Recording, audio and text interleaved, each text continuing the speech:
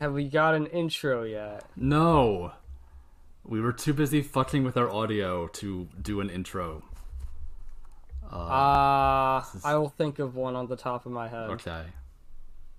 Like a good cold open, you know, because I learned what that is today. Yeah, like ice cold.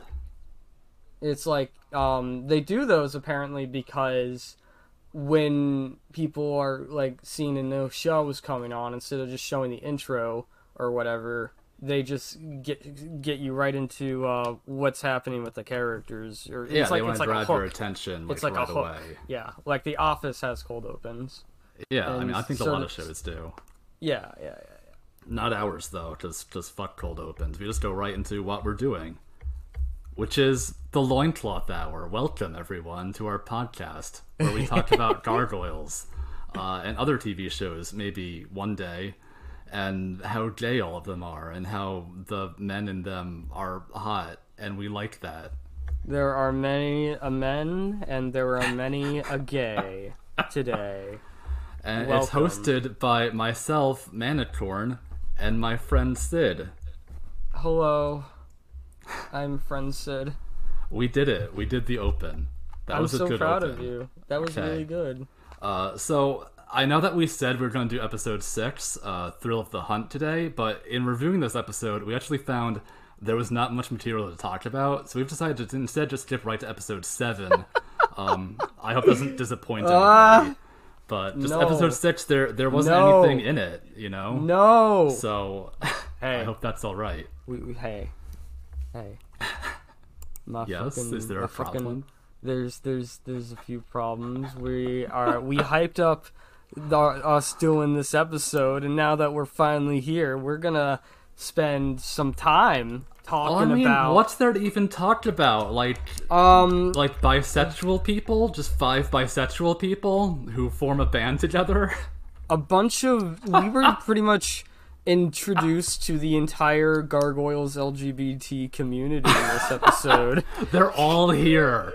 They're all they, here. They, they all came in at once as a group. Because that's how LGBT people are in real life. Like, They're if you're, here. if you're as a gay queer. person, like ninety percent of my friends are also gay. Like, that's just how it is. I have like, I know people. I don't know if they're gay or not, but they're people. That's different. But but I also know the pack, and the pack is very gay. They are the gayest. Like, we thought the Manhattan Clan was gay. Uh, which didn't. you know they are. They, and they, yes, they are, but they're not gay like the pack is gay. Oh no! I feel like the pack are like on the next level of gayness. But yeah, with the pack we have muscle men, we Mm-hmm. have like lesbian solidarity, we have whatever the hell Jackal and Hyena are. Uh, Um, well, she's a robot fetishist. We know that much. she's yes, and she's also she's also she, she's also bisexual, I believe. They're all bisexual, like every one of them, except for Wolf. Wolf is just gay. Wolf is our special case. He is. He's he's a very very special case. Um, for those of you who have come this far into the one loincloth hour, and They're like, what the not- fuck are they talking about? they're like they, they don't know what the hell we're talking about um there is a set of villains we're pretty fixative oh well, i'm pretty fixative on specifically um wolf who i have this burning urge to simp for since i was about um god like i remember when i was like 14 or 15 and i saw every time gargoyles came on my like dvr because i set it to record and I saw this guy, and I'm just like, oh my god, he's definitely got a few, got a few, uh, got a few nuts loose in the old noggin. Oh yeah, he's had some nut inside him. He's been nutted Yes. in. He's probably, yeah. Is that what we were saying?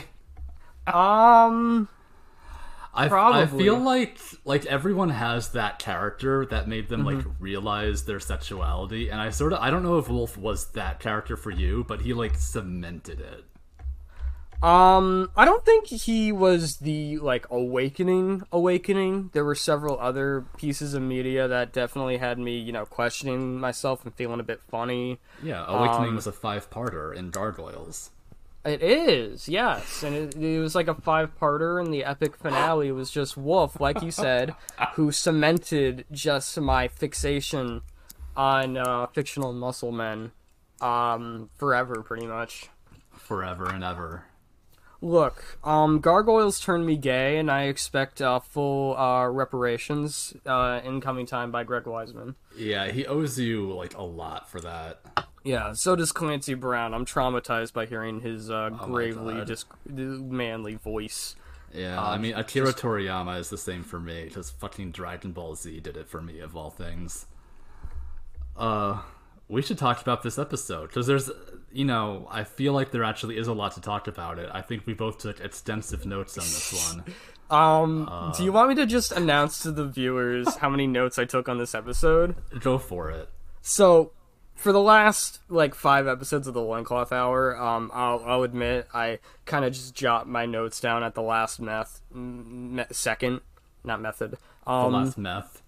yes, the last meth. um, I stayed up all night watching this twenty-minute episode of televi- of daytime television, and I took a total of six thousand two hundred and fifty-four words of notes down. Um, nineteen Which is- pages. I, yeah, like this is the first time you've taken like way more than I have. I just looked at mine. It's like it's thirty five hundred, which I think for me is like more than I usually do take. But like, yeah, you blew me out of the water on this one. Look, it- it- Congratulations. my my favorite character is introduced in this episode. There's no way I Oh, can't wait, not.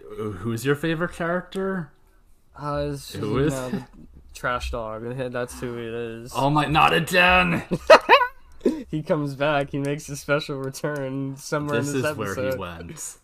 Oh, Yeah. Can you imagine if, like, years from now, Greg Weisman revealed that, like, Wolf actually is just, like, a, an actual animal wolf who got turned into a human? Okay, And but then got turned like, into a mutate? I I don't want to get into spoiler territory, so I'm probably gonna cut this out. But like later in the series, there's like an episode where they're like in Egypt or something, um, and Wolf and the pack are there, and I guess Jackal goes like a bit power hungry and tries to become like some weird furry Egyptian god or something. I don't know. This is like this is I, during, I like, the- vaguely remember this episode. I remember This is- not liking it. It's it's a pretty weird episode. Um, it's during the world tour, so that's probably why you don't like it. yeah. Um, like they were just traveling to Egypt, they just happened to run into the pack there. But um, it, pretty much there's a scene where um the like I think Wolf and Hyena both get like age regressed, and Wolf turns into Oh. just a puppy dog. because he was a mutate, so he got turned into. Oh my god, he got turned into a Yes! literal puppy. like I don't even remember this, but I can somehow see it in my brain anyway that this oh happened. god. It def- there's like Oh my somewhere. God. Hold on, let me look this up. it, it was weird. I remember. Oh my god, there's hyena and baby wolf right there. That's adorable. Hold on, let me send it. Baby hyena looks like um, she kind of looks like the boss baby a little. I don't know. I I don't want to see hyena. No, thank you. Look at Wolf. Look at him. Oh my! Whoa, he looks cool. He's so cute. Wait, okay. How did hyena's outfit also like age? I don't know. I'm not gonna question it because I don't want to see a weird naked hyena baby. And where did Wolf's outfit go? Was he naked before this happened? It grows back with him, I think, at the end of the episode. I don't know. There's there's a lot going on. It's a very fucking weird oh episode. Oh my, okay, if you could have a puppy wolf as an actual pet, like, would you? If it grew up I mean, either or, I would have it. I feel like he'd be a bad dog. Like, he'd chew on all your furniture and pee on things. he would. He would pee everywhere. He would try to mark his territory as the alpha. Uh huh. He would be a terrible dog. I want. I love him. So a thing like a lot of TV shows do after their like initial pilot episode is they like reintroduce the audience the characters and the central like conflict in the first like quote real episodes. Um, Okay. Do you think they do that with this episode? Um, I think. No, I I don't think they necessarily do. No, Um, because they just introduced like five other people in this one. yeah. So it's pretty much just picking right where Awakening Part Five left off. So, Um, we start the episode off. Elisa is going into Xanatos' tower to visit the gargoyles, and Owen is allowing her up. And she rightfully questions why she's even allowed to be in the building, considering she's the one that arrested Xanatos. But um, Owen insists that Xanatos is quote not one to hold a grudge, and quote wouldn't dream of denying her the opportunity to see her friends. End What a nice guy. You know, maybe Xanatos isn't so bad after all. It's interesting how Xanatos is just that kind of guy who prefers to watch things play out rather than just directly involve himself as like, you know, your typical antagonist would normally do. Well, I mean, I can see a couple reasons why he would be doing this. Like, either he now that Elisa is like has been placed, so to speak, among the gargoyles, he's better able to predict what all of them will do while they're together. Maybe. Hmm. And like, this is just you know, like, because everything he does is like another Machiavellian scheme. So like, Right, I can't, I can't imagine like him allowing Elisa to like hang out with the gargoyles unless he thought he was going to get something out of it. Exactly. Yeah. No, it's definitely an interesting um thing because it's like we know that a good majority of the events in like the first season is uh allegedly Xanatos is just like you know everything's going according to plan according to him. Yeah, I feel like a lot of times he just says that. Like, Yeah. he's just making shit up as he like. And anytime anything happens, he just goes like, "Huh, according to plan," and like. Owen there is probably just like that wasn't according to like shut the fuck up. That's not even true. I, I had this one friend who would do shit like that. We would be playing like Worms Open Warfare, and I, love would like game. That's a good game. Like if, if you haven't played that game and you're listening to this, I recommend it highly. But um it's fun to play with friends. But uh I remember taking out like his uh entire like enemy his like entire team with like an airstrike and he'd be like, "Yes, all according to plan." I'm like, "What? Fuck you're dead. you. You're dead." it doesn't matter though, because it's all according to plan. You just played right into his hands.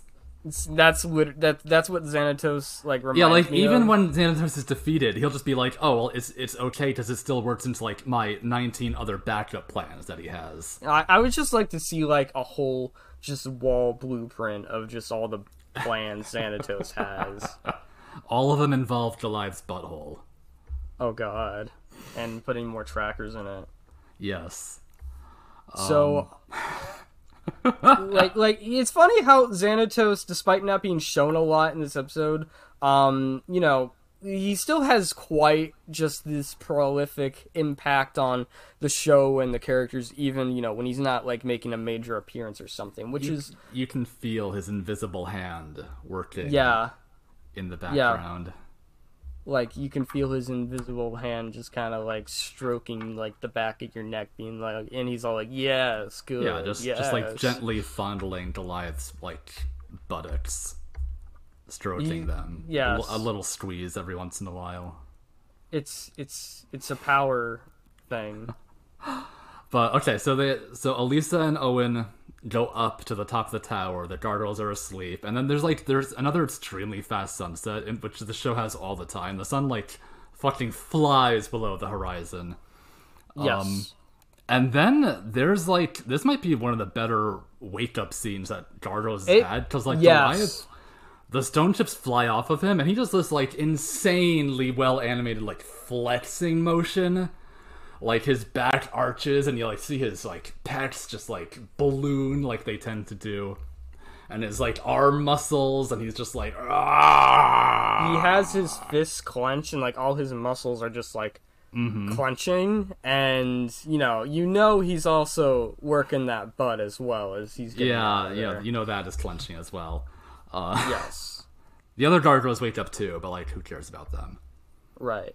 So, um, yeah, no, and and as he's waking up, we get this really interesting shot of Elisa just checking him out from behind, because it's like you know she's into that, um, and of course she's still amazed by the whole awakening process. She is. But then he sees her and he says, Elisa, what a pleasant sight to greet us as we awaken.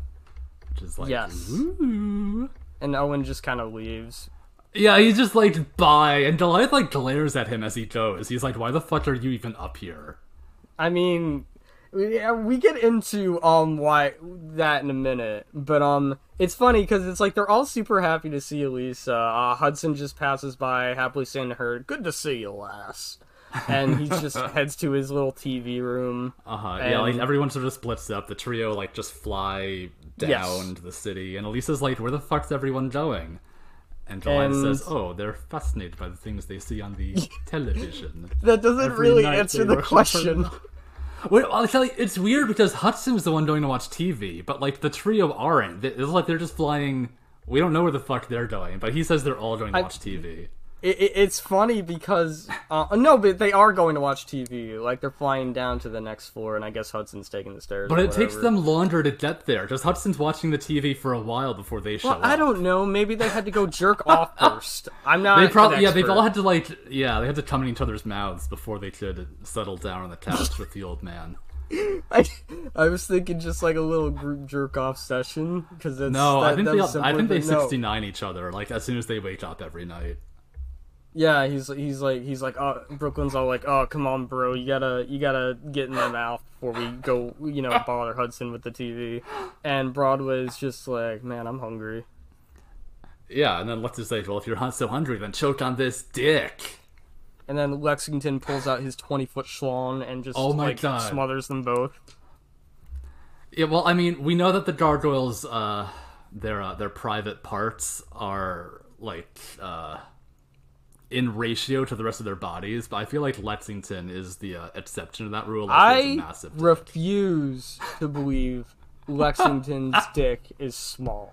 no, you know it's big, He, he- he's packing. You can't, tell especially in this not. episode. Look at his smug little, like, little, his cute little goblin face. You know he's got something going on down there that he's not telling anybody. He knows something you won't, you don't know. Oh my god. Um, I don't even know where the fuck we were. right. Okay. Everyone splits up. Um, And Goliath's like, yeah, they're fascinated by television. And it has nothing to do with the conversation at present, but it has everything to do with the episode. I also think it's Um, really cute the way he says television. Like he, just does- says things in a cute way. He- I think he's so another implication here is that Hudson's become a porn addict by this point in the series. Oh my god. I mean, it's possible.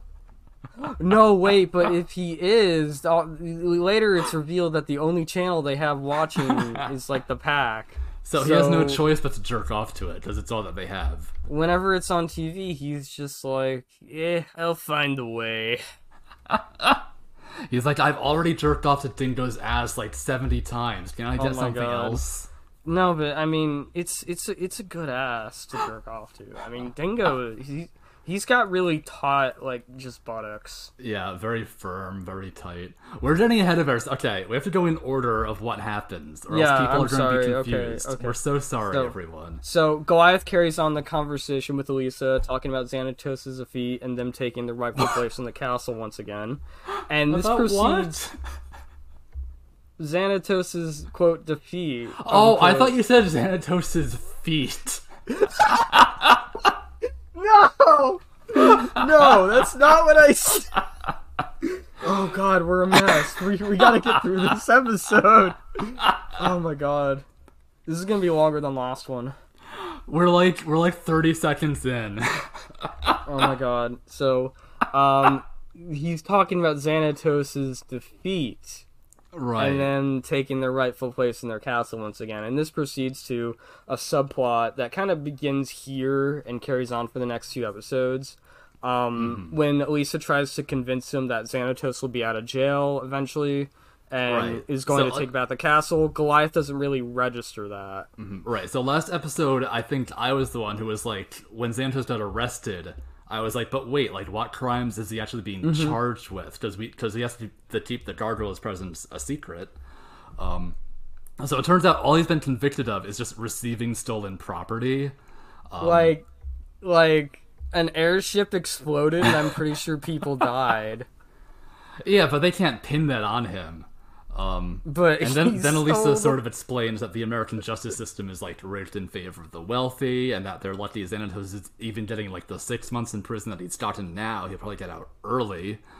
Um, so once he does get out, that all the gargoyles are going to be in danger, so they need to find a new place to sleep. Yeah, but Goliath doesn't really register this at all, and um, he's pretty much in outright denial that he that that's going to happen, and he's just like, um, it's interesting because he either doesn't understand what Elisa is trying to convey to him, or just doesn't want to understand. He definitely doesn't want to understand because I think, um, I mean, they're in modern day now, but like the castle is such a huge part of the life that they used to have. I, he doesn't want to give that up. I don't think. Like this is a guy who is lost at this point has lost close to everything, like his entire uh, species, his trust in humanity, and his girlfriend twice. Yes. And and plus guarding the castle is like a very big part of like the gargoyle culture. So he probably feels that without the castle as like their anchor, so to speak, like the the whole clan will be lost without this thing that they can do.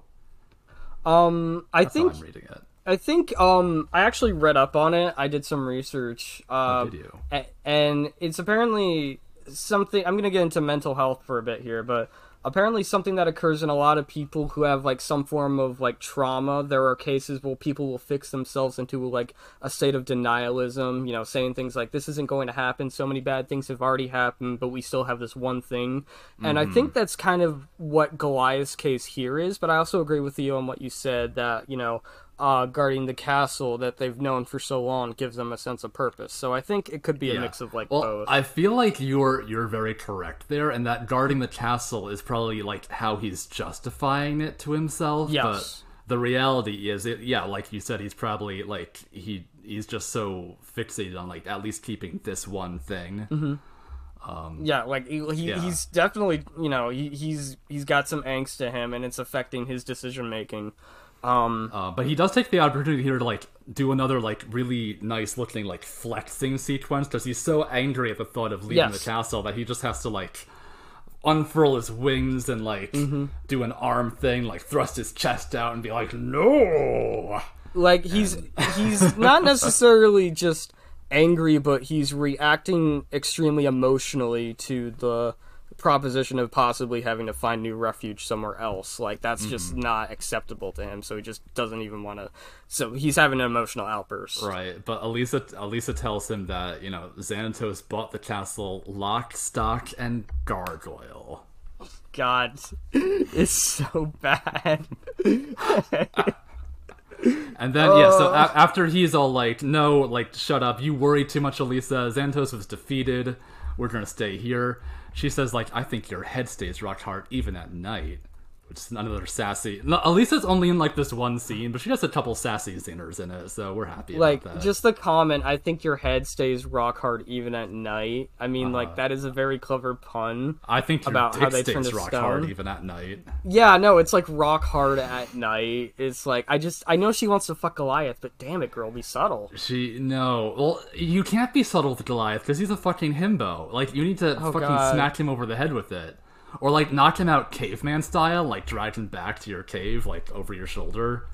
it's also interesting that um he's in this kind of middle ground of both denialism and having to face reality because um interestingly enough the plot of this episode has to do with um you know what people see on TV what they choose to believe um and Yes. I, I I think that's kind of like a brilliant little connotation to mm-hmm. the subject Yeah, and it's a message that's probably like more relevant today than it was when this episode first aired. Oh yeah, like, sadly. and like this episode is definitely like don't believe everything you see on TV, but I would say it applies to much more than just television nowadays. I mean, oh, I, we I think so. like we have so many media outlets and stuff. But we can forget about all that heavy stuff because now we're just gonna have a lighthearted episode about some wacky characters who come on. No, there's uh, there's definitely there's definitely more emotional stuff ahead on this. No, it's just going to be a happy, fun time. Uh, so we go down to, to Hudson just turning on the TV and watching a, a funny TV show. Yeah, he's um downstairs watching television in his sofa once again, and he's scratching Bronx, who's sitting behind him, commenting on how this world is just filled with marvels. Yeah, when he sees Wolf's package. Screen. Oh my god. yes, no, absolutely. Because on television, he seems to be watching some form of action reality television show titled The Pack. Yes. Okay. Um, the first thing we hear, like, there's just screaming electric guitar, and then we see like the pack logo.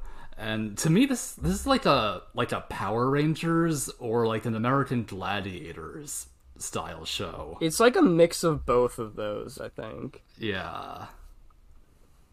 So um, we see on the television that all these uh, people are dressed up as uh, action stars in these flashy armored get-ups, and in the pack are five characters who seem to be running through a variety of obstacle courses, and including spikes that come out of walls that they avoid, and also ninjas leaping out at them that they, I guess, beat up. I know a lot Evil of your ninjas. Evil ninjas. God, that was one thing that really annoyed me during this episode is everyone talking about the evil ninjas. That's what they're called. They're like the Foot Clan, but they're the evil ninjas. So pretty much on the TV, these characters are displaying a bunch of cliche action hero stuff you would see in like a '90s film.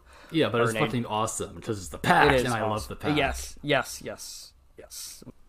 They're so cool. If I was alive, like if the pack was a real show when I was a kid, I would have been fucking hooked on it.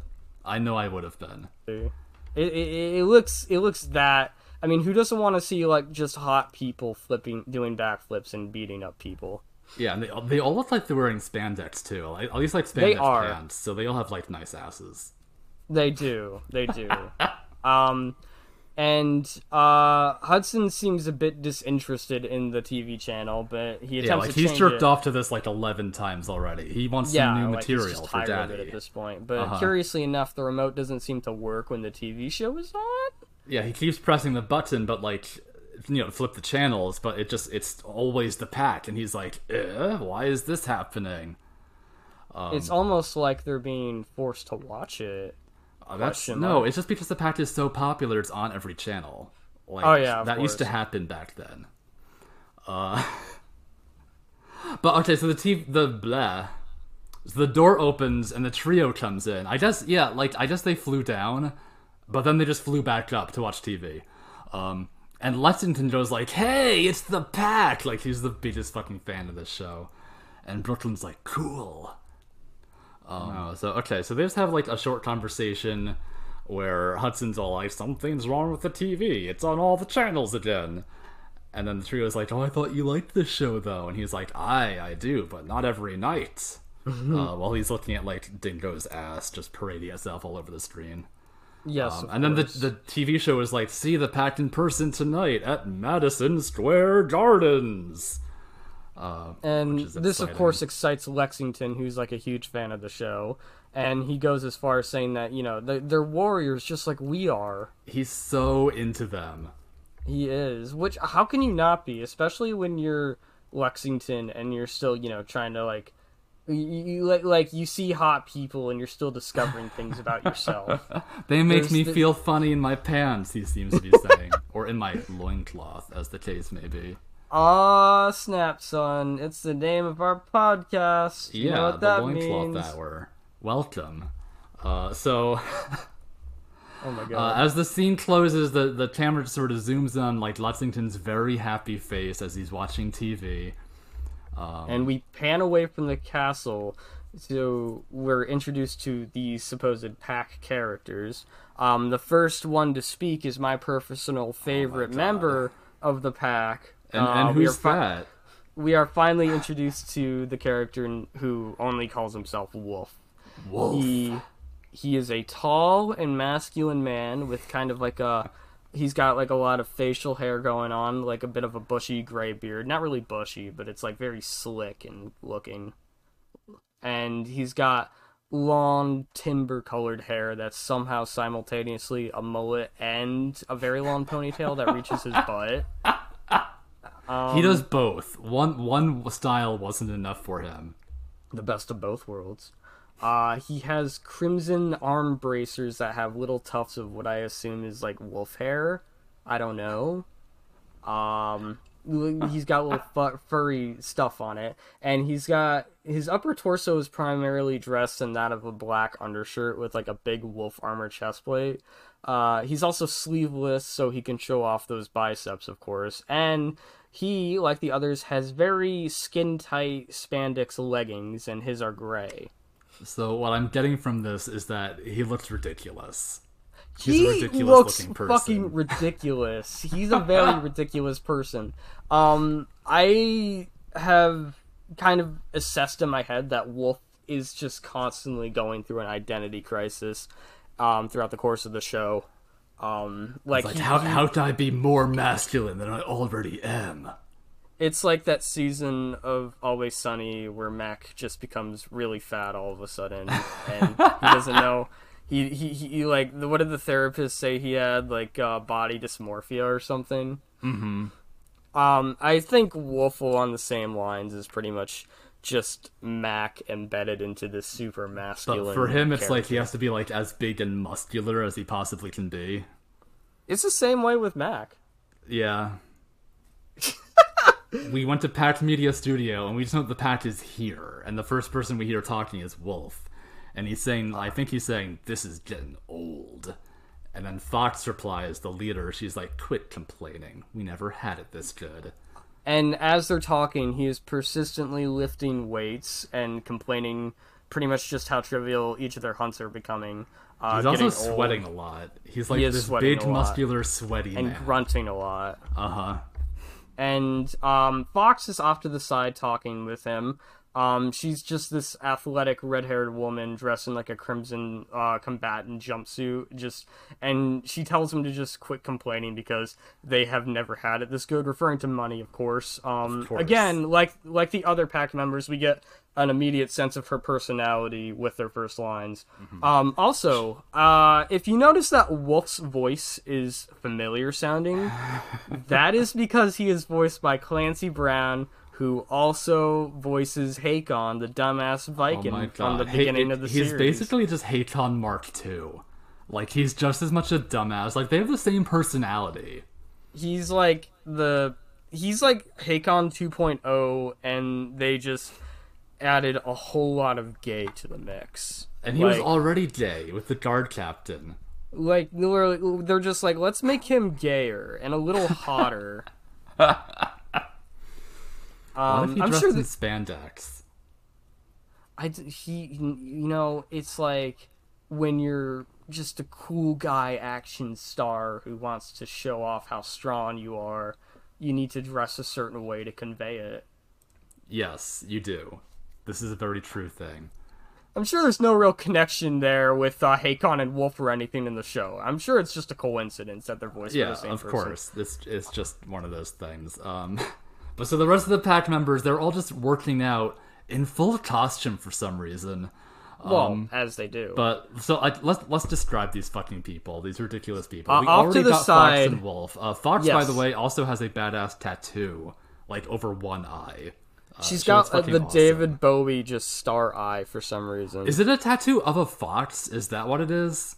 I don't know. It's like I, a like little... I don't know what the fuck it is. It's like a little lump of green just encircling her eye. I, I, feel like it. it's like a fox face. I think Fox is a furry, is what we're getting out of this. They're all furries. They, they just they're all named after animals. Yes, and their and, group is called the Pack. Well, and there's a lot of talk about like an alpha, and some of them have claws, some of them have paws. Uh huh. Oh my god. So okay, so the entire group just radiates bisexual energy.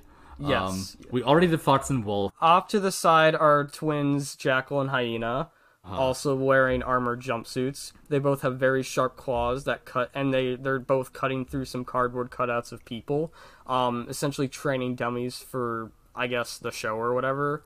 Um, not to draw any further confusion, I'll say for the record now that Jackal is the brother and Hyena is the sister. It's easy to get them um, confused though, because they look very similar to each other.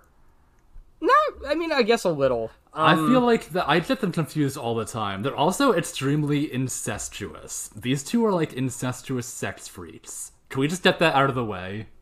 Yeah, no. Um, I, I think I wrote in my notes that they they probably fuck each other because creepy twins be like that sometimes. I feel like they definitely do, just based on all like the weird subtext they get with each other. Yes, and they both kind of have these looks like they know they're these chaotic shit lords, and they're just they're just there to live it up.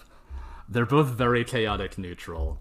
Jackal is this kind of power hungry, I'm better than you fuck boy who is just one of those individuals who constantly talks like he's smarter than everyone else. Very Draco Malfoy vibes, essentially. His voice is actually really funny in this episode. He's always like It is! enunciating things in a weird way, like He sounds. British. He also has like this gigantic mullet too. Yeah, it, he does. It's not as good as Wolf's in the slightest. No, not not at all. Definitely. No. Um, and Hyena is very chaotic herself. Um, I she's just got this whole living to fuck shit up mindset. Um, and I don't think she's the definitely not the brightest in the group, but I, I feel like she's the most psychotic one though. Yeah, that's that was what I was trying to get at. Uh huh. in my notes, I actually compared her to Harley Quinn a little because I was just trying to think of a character to make an example of, but I don't know if it's see that. necessarily that. extent. But I, I guess I could kind of see it. Um, and then of course after these two, we're also introduced to Dingo. Um, I'll let you take the reins on this My one. beautiful. I mean, what's there to say about Dingo? He he's Australian. He's a himbo. He's he's beautiful. I I don't know what to say. He's he's muscular. Um, like he's not as big as Wolf, but he's more like he's a little shorter. He's he's compact. He um, looks like a porn star. He looks like a porn star. He has the porn star mustache. Um, he talks with an outrageous Australian accent all the time. He sounds He's- like Kano from Mortal Kombat with his Australian. His outfit is like really tight pants and then like a harness, for his upper bo- for his upper body, but like it leaves like his abs open. Mm-hmm. Um, he's he. I think he's beautiful. He's one of the hottest characters of all time. Way hotter than Wolf. I'll say that. I disagree, but you know, well, I'll let bygones be bygones. We've had these conversations many times. He's extremely bisexual as well. Like all of them are, but like I, I just Except I just see him, I see Wolf him as a gay. porn star before this. Like his job before the pack, probably how Fox found him was like on a porn set someplace. Probably. Um, I do remember Dingo's backstory. Um, I don't think we'll get into that right now, but it's not really revealed in the show, so I guess we could also talk about it whenever. That can be a future episode. Yes, yes. My beautiful dingo. He also has um kind of like a mix of you know a mullet and a mohawk. Like He rocks kind of... it. Okay, he, looks does rock amazing. No, he, he looks really fucking hot with it. So Dingo's like working on his lasso skills or whatever the hell he's doing, but then it looks like a ninja fucking pops up and is going to attack Fox, and like it gets really tense. yeah, yeah, yeah. Um, but then it's just like it's just some guy because he takes his mask off and he's like, "Doo hoo hoo hoo." He's got like a dopey face. and Fox is like, "Later, Harvey, work, Work on, on those backflips, backflips, you hear hear me?" she has like a southern accent all of a sudden. Uh, Does it's amazing. Maybe I just wrote it in a southern way. I don't know. Yeah, I did. No, I, I, I don't think she has a southern accent. I think But he just walks away. So okay, my question for you is like this always bugs the hell out of me. Oh, Um, why is she saying goodbye to this guy, this like stunt performer, when they're She about to knows go him. on stage on Madison Square Garden? Uh, that's Because no, after that's, this um, conversation, they're like, okay, now let's go out and perform or whatever the hell she says. Like, why is he leaving? He should be getting ready for the show with them, right? Wait, is is it that night? That's the Madison Square Garden. I, I think she says it is. No, no, okay, no. At the the last line in this episode is we'll figure it all out later. Right now, we've got a personal appearance to make, which to me means that they're Oh. going like on stage like right after this. Okay, yeah, no, I understand. um, I don't know. I guess Harvey, he's just like the coffee guy, and he's just filling in for one of the They extras. just maybe they just let him dress up once in a while. he likes to be a ninja. Let him be a ninja. Um. So okay. So after this, I'm just gonna I'm gonna mention this part because I know that you noticed it. But Wolf walks over to Fox and he shows like an unusually big butt for his character model. Why is it unusually big? I feel like it's not usually that big, but like No, the but it spandex pants looked looked very tight on him in this sequence. No, he he's a big man. Why wouldn't his wh- what? He's a big man with No. a big butt. He's got a lot of you know. It's like sometimes Jumped in the trunk. sometimes you got a big heart, sometimes you got a big butt. It just counts where you get the big big bigness. Well, I'll have to pay more attention to his butt from now on to see if it continues to be this big in the future. Listen, um, I have paid very close, attentive detail to his butt. And I know for future endeavors it doesn't look as big as it does now, but it's he's still got it. I'm I'm He'll- saying I'm saying it right now. it. So okay, would you like to deliver his line that he tells Fox? Oh, you don't even think about taking this from me. I, I won't take it from you. Okay, so as he walks over near Fox, he grabs some more barbells because you know he's just obsessed and dedicated to making his body completely fit and strong as hell. And he, uh, he, as he takes them, he comments that when they took this TV gig, they were promised fame, money, and action. He's not complaining about the first two, but he can use some more of the third. So he's he's a man looking for some action. Jackal gives this insane line where he says, "Sounds like the Wolfman is getting bored." But like he says it in that weird way that he like every line he delivers is just so bizarre just because of how he says it. Yeah, he's a weird guy. Um, but then okay, and then Hyena right behind him, his sister, she says, "Maybe a new haircut would help," and she like clicks her like claws together. Um, Syd, what the fuck does this line mean? So, um, growing up, I hated Jackal and Hyena with a passion for some reason. Um, because they always teased Wolf. They have a tendency to poke at his ego and just try to kind of find ways to kind of crack that fragile masculine shell. Like, is just that like what a- they're doing here? Like they're Yeah, teasing him about they're- his hair? Yeah, pretty it looks much. bad. Yeah, I was guess- honestly confused. Like because of how she delivers it, I thought it was like a sexual thing. Like she has a haircutting kink. See, no, I'm just saying what I thought back then, but like now Oh. that you brought that up, um, I was gonna say that it does kind of seem like a mildly sexual comment. Like, I feel gonna- like, well, for one, like every line she ever delivers has like a weird sexual undertone to it. Uh, I don't know. I also feel like she has a new kink every episode she's in. probably. I Hyena's mean, a very sexual person, she is. She's like, I'm afraid of her. but like, if they're making fun of his hair, I think that's weird because she has the same fucking haircut that Wolf does. It's because Wolf is a furry. Like, is that the joke though? That they have the same haircut? So she's like, I'll cut he- yours so that we're different. Maybe look, Wolf has like the longest hair in the group. I yeah, but that- like, other than the if you cut away the ponytail, like he and Hyena, uh, like it looks the same Don't to don't me. don't even don't even remark about cutting off his hair. I like it long. There's so many mullets in this episode. Um, That's that's because it's very it's a very gay episode. are you saying that mullets are like a gay haircut? Are they not? I I don't know. Well, I think they are. I'm But, saying it right now. Mo- on the record, mullets are gay Wow, lifestyle. I'll have to remember that.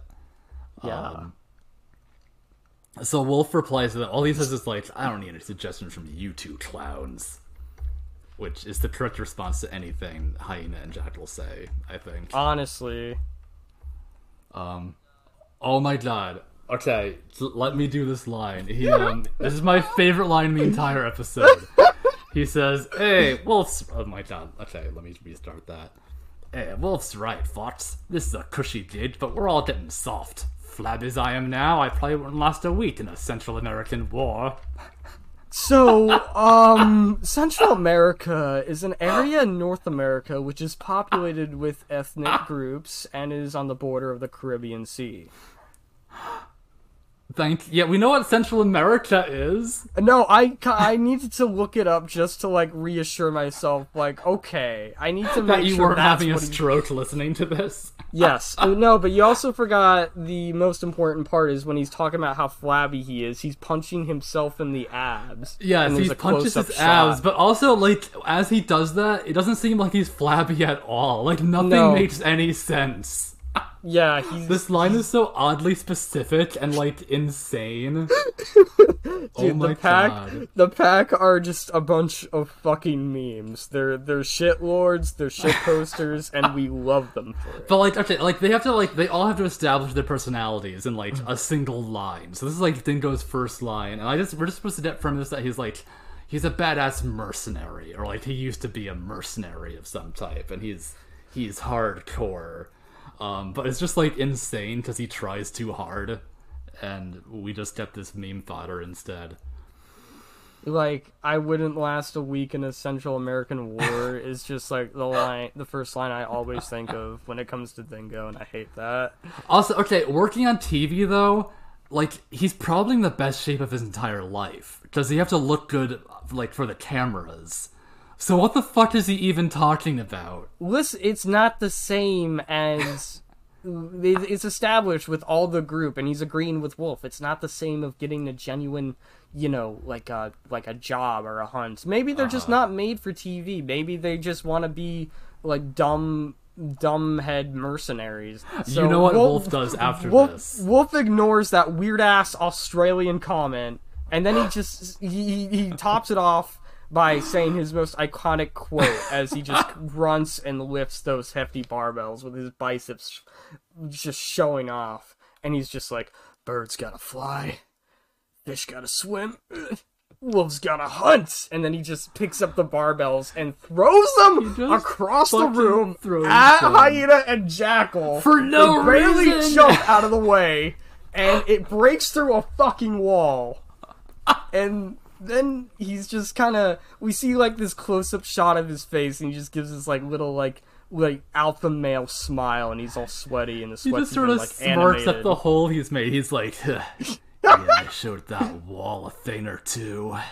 God, he's so he's so fucking stupid. I can't. And they also animate this like beautiful like line of sweat going Yes, down yes. his face as he as he just smiles at the wall for no reason. Oh yes, my bathwater. Oh my god! And then like, but the best part, like, no one else even reacts to him doing this. Like, not even Hyena and Jackal, No, it's who he just threw normal, the weights It's normal behavior for him. That's the best. like they just expect this from him by now. They're like, okay, like whatever. he has a diva moment every time they finish like shooting an episode or something. It's like every goddamn day with this guy. he's oh just my he's, he's just really gay. He's just really so fucking gay and stupid. He doesn't know what to do with it all. And he just throws weights through walls because he can. Oh my god. Uh, okay, so uh, Fox uh, walks over and she says, Well, since you're all itching for action, let me show you what came in today's mail with no return address and no explanation. I like how she says that. She says everything in like a vaguely seductive way. Have you noticed this? I did. I took comment on that a lot. She's just a hot Um, person. Look, my first comment uh, when I noticed how seductive she was was just um I wrote down "mommy" in my notes. I don't know I why. feel like a I lot of her fans like want her to step on them. Who the fuck wouldn't? Fox is the best girl. Like, Like, changed my mind. I also get the feeling like she's not trying to to seduce who she's talking to, but like she's just that hot that all of her lines just come out that way, like on their own. she kind of reminds me of like she has this sort of social openness about her that allows her to get what she wants out of people. Kind of. It reminds me of mm-hmm. Black Widow a little. Okay. Like Black Widow for Marvel. Yeah, Hmm. she does that. I'm thinking in, more I think Domino from X Factor. That's a deeper cut. Because she also has a fucked up eye tattoo, and she's also just a very hot person. I'll send you pictures of Domino later. Yeah, you do that. Um, but okay, so she has this envelope, um, which she takes some photos out, and um, the pack goes over to look at them. The first line from them is Dingo saying, "Stone me." Haha, humor. And uh, Jackal is beside him, just giving this shitlord smirk, and he's all like, interest. and Wolf is just in the fucking back looking over Dingo's shoulder. And it's a bunch of naked And- photos of Goliath. Like they, she, she leaked Goliath's nudes to them.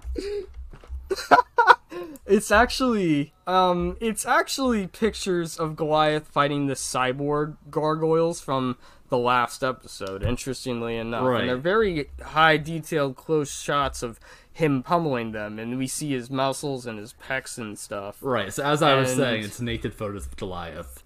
Um, Yes. Hyena says uh, she says that she read something in the Daily Tattler, which sounds like a sex mag to me, but it's probably like a What the- newspaper. I'm pretty sure Daily Tattler is just an actual. New Oh, York is it? Hold on, I I, I might. Daily Tattler. I feel like they- okay, it's- no, it's like the Daily The first thing I see, the first thing I see when I search up Daily Tattler on Google is just the Gargoyles wiki. Okay, so yeah, it's a it's a paper that they made up for the show, but it sounds like uh, it sounds raunchy to me. Um, The Daily Tattler's American entertainment news publication. nice. Oh, okay. They use it as the covers for bad guys. Like everyone got their own little uh cover photo for it. Yes. Um, but yes. she, so she says that she read about gargoyles in this newspaper. but hyena reading the news. She's probably only reading the tabloids or like the comics. That's probably the craziest part about her character is that she not only is psychotic, um, but she reads the news on top of all. Well, okay, crazy. it's like tra- there's like trashy newspapers out there though, which I get the feeling is like what the Daily Tattler is. They just they put like uh, Yeah. like celebrity scandals and shit like that, which like she'd be all about and into. Because she's like, yeah, powerful people getting taken down a notch. God, they're all so trashy. I just imagine, um, all of them are just constantly living in dumpsters, Well, we know except for Fox. we know that Wolf does. We know that Wolf does. He prefers it that way. So okay, so yeah, so she says that she's heard stories about the gargoyles in this newspaper. And then uh, Jackal is like, right, and alligators live in the sewers. Why does he say that? oh my god. Like, did he grow up in New York? People in New York don't talk like that. I don't know because he sounds British, but Hyena sounds Southern, but they're twins. like, are they were, were they raised separately? He's probably just watched a lot What of happened? BBC TV shows. Yeah. And so Wolf is like, what are we even talking about? Like he's completely confused. Um He's oh, he's so stupid. so Wolf I mean, I keep getting them confused. Fox is like, imagine hunting something like this. And she holds up a pic of like Goliath's massive dick. Uh, his canonically massive dick, because we know his dick is like it's uh, relative to the rest of his body size. Yes, he's he canonically Goliath is Hun. Is he as Hun as is Wolf Hunter though? Is is Wolf you know on that same level. I feel like when Wolf is looking at this picture, like he's doing that internal math because like he needs to know See- this too. I love it because it does kind of look like they're all like freaking out because someone sent them a dick pic. The biggest dick they've and ever seen. Wolf is just like oh, he just rushes over. He's just like, is it bigger than mine? That's just how he is. It gives him this identity crisis. No, I'm the guy with the biggest dick. If I don't have that anymore, then what am I? That's his whole fucking character right there that you just explained. Like that is the wolf dilemma. Oh my god. So then, okay, so then Fox delivers that line that I mentioned before, how they're gonna they've got a personal appearance to make, and then the view switches to Madison Square Garden. So as we transition away, I think now we can um we can talk about okay, uh, uh, there's at some point I do want to talk about my fix my historical fixation on wolf, but I feel like I already did. I feel like you did too. Is there more? I don't think so, but there's also the email uh we opened from last Do we want to? Okay, do you want to talk about that email now? we don't have to talk about the thing with like um with like Fox and that one individual, but we can talk about her relationship with uh, the pack members. Uh, okay. So this email was sent to us by Rembrandt.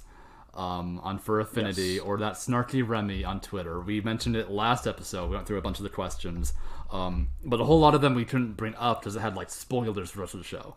Um, but What these were were um, things that Greg Weisman has concluded, uh, has confirmed as canon on his blog when fans ask him questions. Actually, this is stuff that apparently there was an After Dark panel at a convention. This was at Convergence 2014, uh, where Greg Weisman answered like adult questions about the characters. Um, so we, we got this information. I think this was posted on like Tumblr or something, or like a Chan website. Um, so you know, this information is as accurate as as you can imagine that would be. Um, but it all seems very correct and in character. So I'm just going to go and say that it is 100% true because I want it to be. But yes, um, Remy actually sent us a follow up email saying that, but um, I won't get into the whole email now. But I just wanted to address that. So okay, so towards the end of his first email, one of the uh, tidbits of information here was uh, so Fox canonically has had sex with almost the entire pack. Uh, she's had sex with Yes. Dingo, which I can very easily see. Because Oh, Dingo me is just like a, a dumb, beefy himbo. I feel like he's a very, like, he has a high libido, so, like, as soon as he's turned on, he just, like, go along with whatever she wanted to do.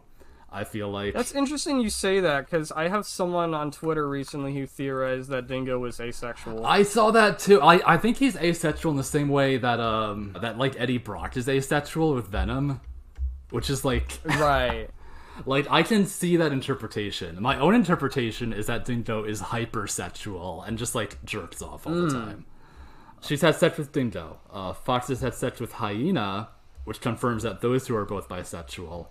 Um, Fox has had sex with Jackal, but only when Hyena watches. Which to me confirms that Jackal and Hyena are in a relationship of their own, or that they're just like sex weirdos. Uh, They're probably Um, both. I don't know. Yeah, they are. The only member of the pack who Fox has Not not, had sex, sex with, with is Wolf. Which, when I read that, like my fucking serotonin just like had like an overdose of boost. I was just so happy. That's basically confirmation that Wolf is gay, right? I mean, because who wouldn't have sex with Fox? I don't think it's hundred percent confirmation, but I do, I do read into that. Um, I, I just, I really just want to hear the words out of Greg Weisman's mouth, but I, I do, want him to say it. Yes, yes, but no, I do read that as a huge part of. Um, it's it's just crazy because I've I've fixated on Wolf for like a long time, and I'm just like, oh yeah, no, this is a gay coded character. Um, but to have that kind of little piece of information from you know the creator himself, albeit at an after dark panel with fans and whatnot, but um, just that little piece of information that she um is so open with the pack members that she sleeps with them, but um doesn't sleep with Wolf. Um, that just that that I I read a lot into that. Like, That- she doesn't that sleep with Wolf, super but. Dingo has slept with Wolf. that's our head headcanon, but That is a true head headcanon that is uh, 100% valid and factual. Thank you. honestly, Uh, it's real. It happened.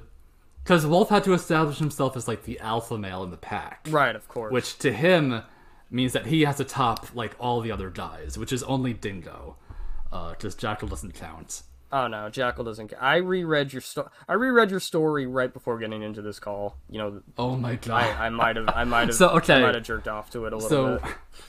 we we've we've done a commission of Wolf and Dingo together, where Wolf is giving Dingo like a really hard spanking in the locker room. Yes. uh, because we like the characters and spanking Mm-hmm. and thought we wanted to combine them.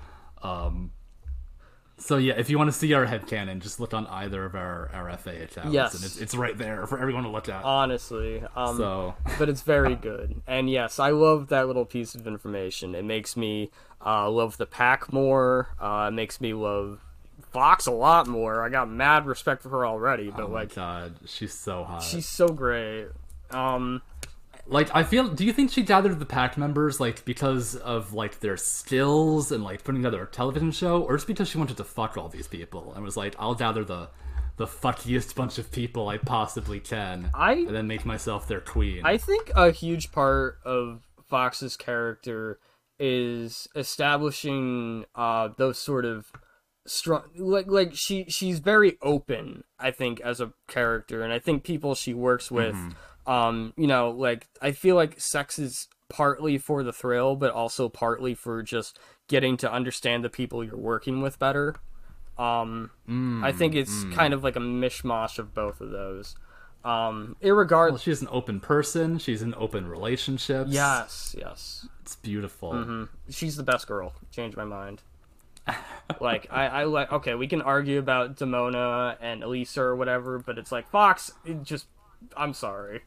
I Fox is like the middle ground between those two characters almost. kind of Because like she's more like she's more sane than Demona is, but she's definitely way more psychotic than Elisa is. she's yeah no um she's in that kind of chaotic neutral territory. I'd say. yeah, but she is also extremely hot. Oh god, no, yeah, she is. Um, it doesn't help that I also have a thing for redheads, Oh my god. which is new information. She hits a lot of buttons for a lot of people. Yes, me me included.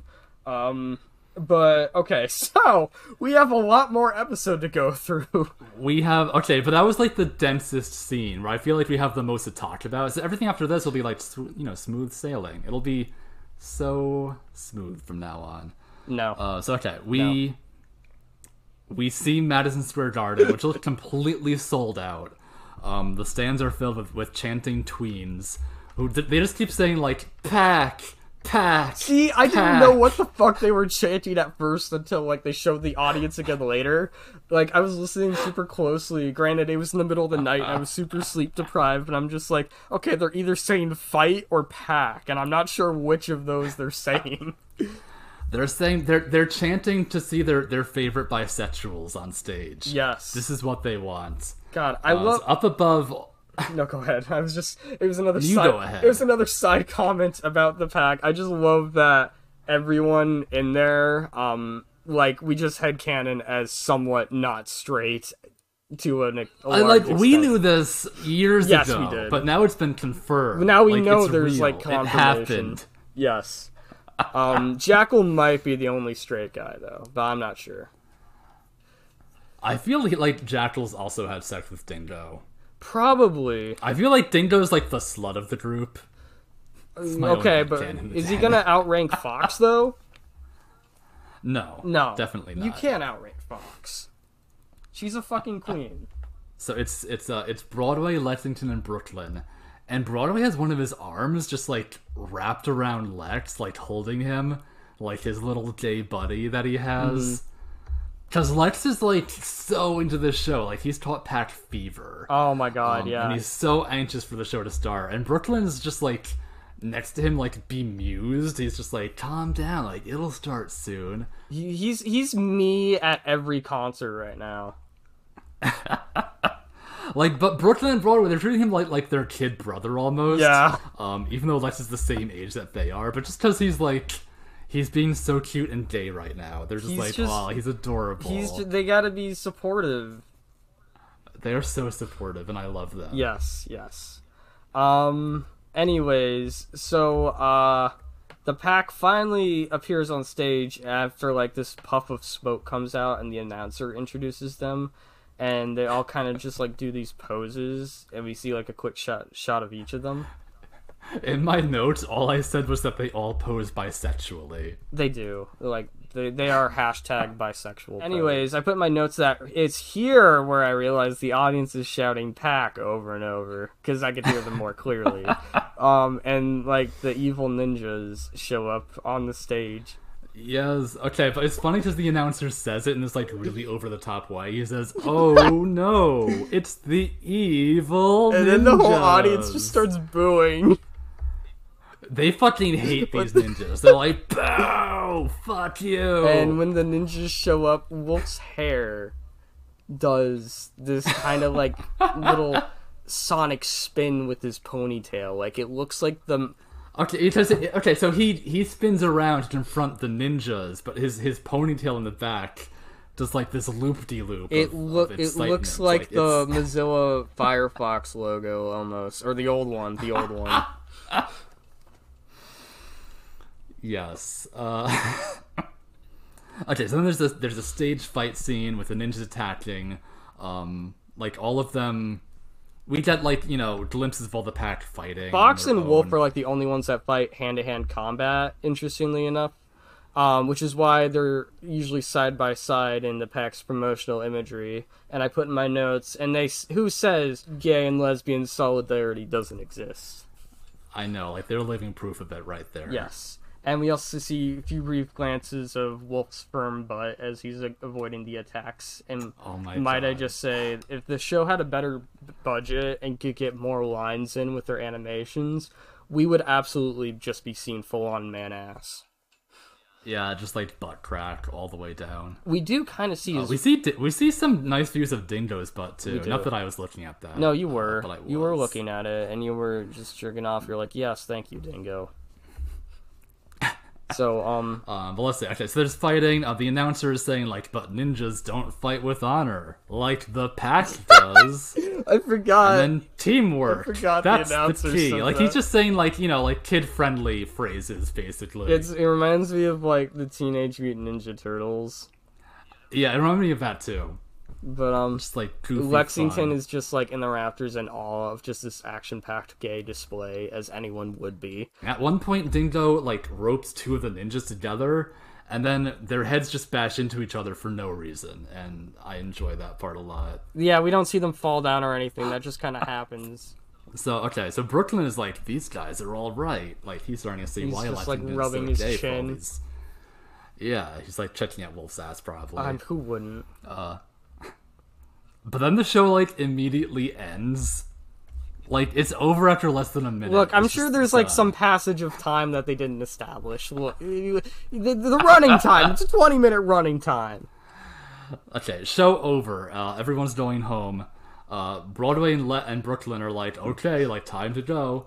But Lexington wants to stay behind uh, for some reason. But, so his two bros like fly off, uh, and then he's then Lex by himself is like, I'm, I'm going, going, for, for it. it. He's so like cute and excited. Which to me, that sounds like like the first time you come out to somebody, or like, right? when you want when you want to like uh like make a romantic overture to someone for the first time. It's like he's getting his courage up for that. Yes, yeah, and that's a big um thing with like um later that that's a huge thing that also ties into like the meaning of the like this whole episode and such. Um, there's stuff about trust. There's stuff about you know what you believe in the media. Uh, just a lot of uh, lot of uh, leaps of faith going on here with uh, with this episode. Uh, so we go and see the pack. They're walking backstage after the show, and um, I think is it Wolf who says this? He Yeah, says, it's Wolf. "Well, another day, Another half million dollars, and I'm just like, is that what they earned? Yes. My God. Uh, and Lex is up above them, like in, the in rafters rafters. again. But Fox notices. She's like, "What's that?" Yes, and then Lex drops down.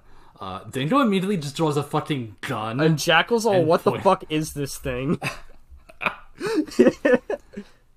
but then Lex starts talking to them. He's like, "Whoa, relax. I'm not an enemy." And they're just like, "Oh, it talks." Uh, so once that gets out of the way, though, yeah. So Lex introduces himself. Um, he tells them that he's a warrior, just like they are. Wolf is surprised that the gargoyles know how to talk, kind of like how Elisa was when she first realized Goliath could talk. Mm-hmm. Which is, you know, just goes in hand in hand. But they both end up really wanting to fuck gargoyles. Yeah, well, I mean, when Elisa realized that Goliath could talk, that was the moment she wanted to fuck him, according to Greg Weisman. So I feel. Do you think that now that Wolf realized Goliath that gargoyles can talk, he also wants to fuck Goliath even more? He's just now? like, oh my god, wait, where's that bigger one? He's thinking. yeah, just the first line he says. He says like, "Hey, Fox, this one's not as big as the one in the picture." um, for some reason, uh, Wolf. I, I okay, I put in my notes. Uh, we see just how big Wolf's crotch region is. What the fuck? Why is his dick so big? Fucking David Bowie from Labyrinth up in this bitch is all I wrote in all He- caps. He is showing bulge. There is so much bulge, like just um, ugh. He, he- you know, um, okay, so you can probably relate to this a little, but you know how you do like the art of like Inarog, and he's like got the horn, and he's like he really just wants to shove it up people's asses for some reason.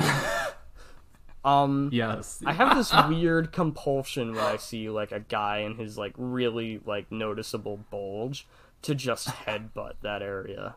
I don't Oh know why. I just want to like headbutt it and see if my head bounces off of it like a trampoline or something. Do you feel like that would happen with you and Wolf?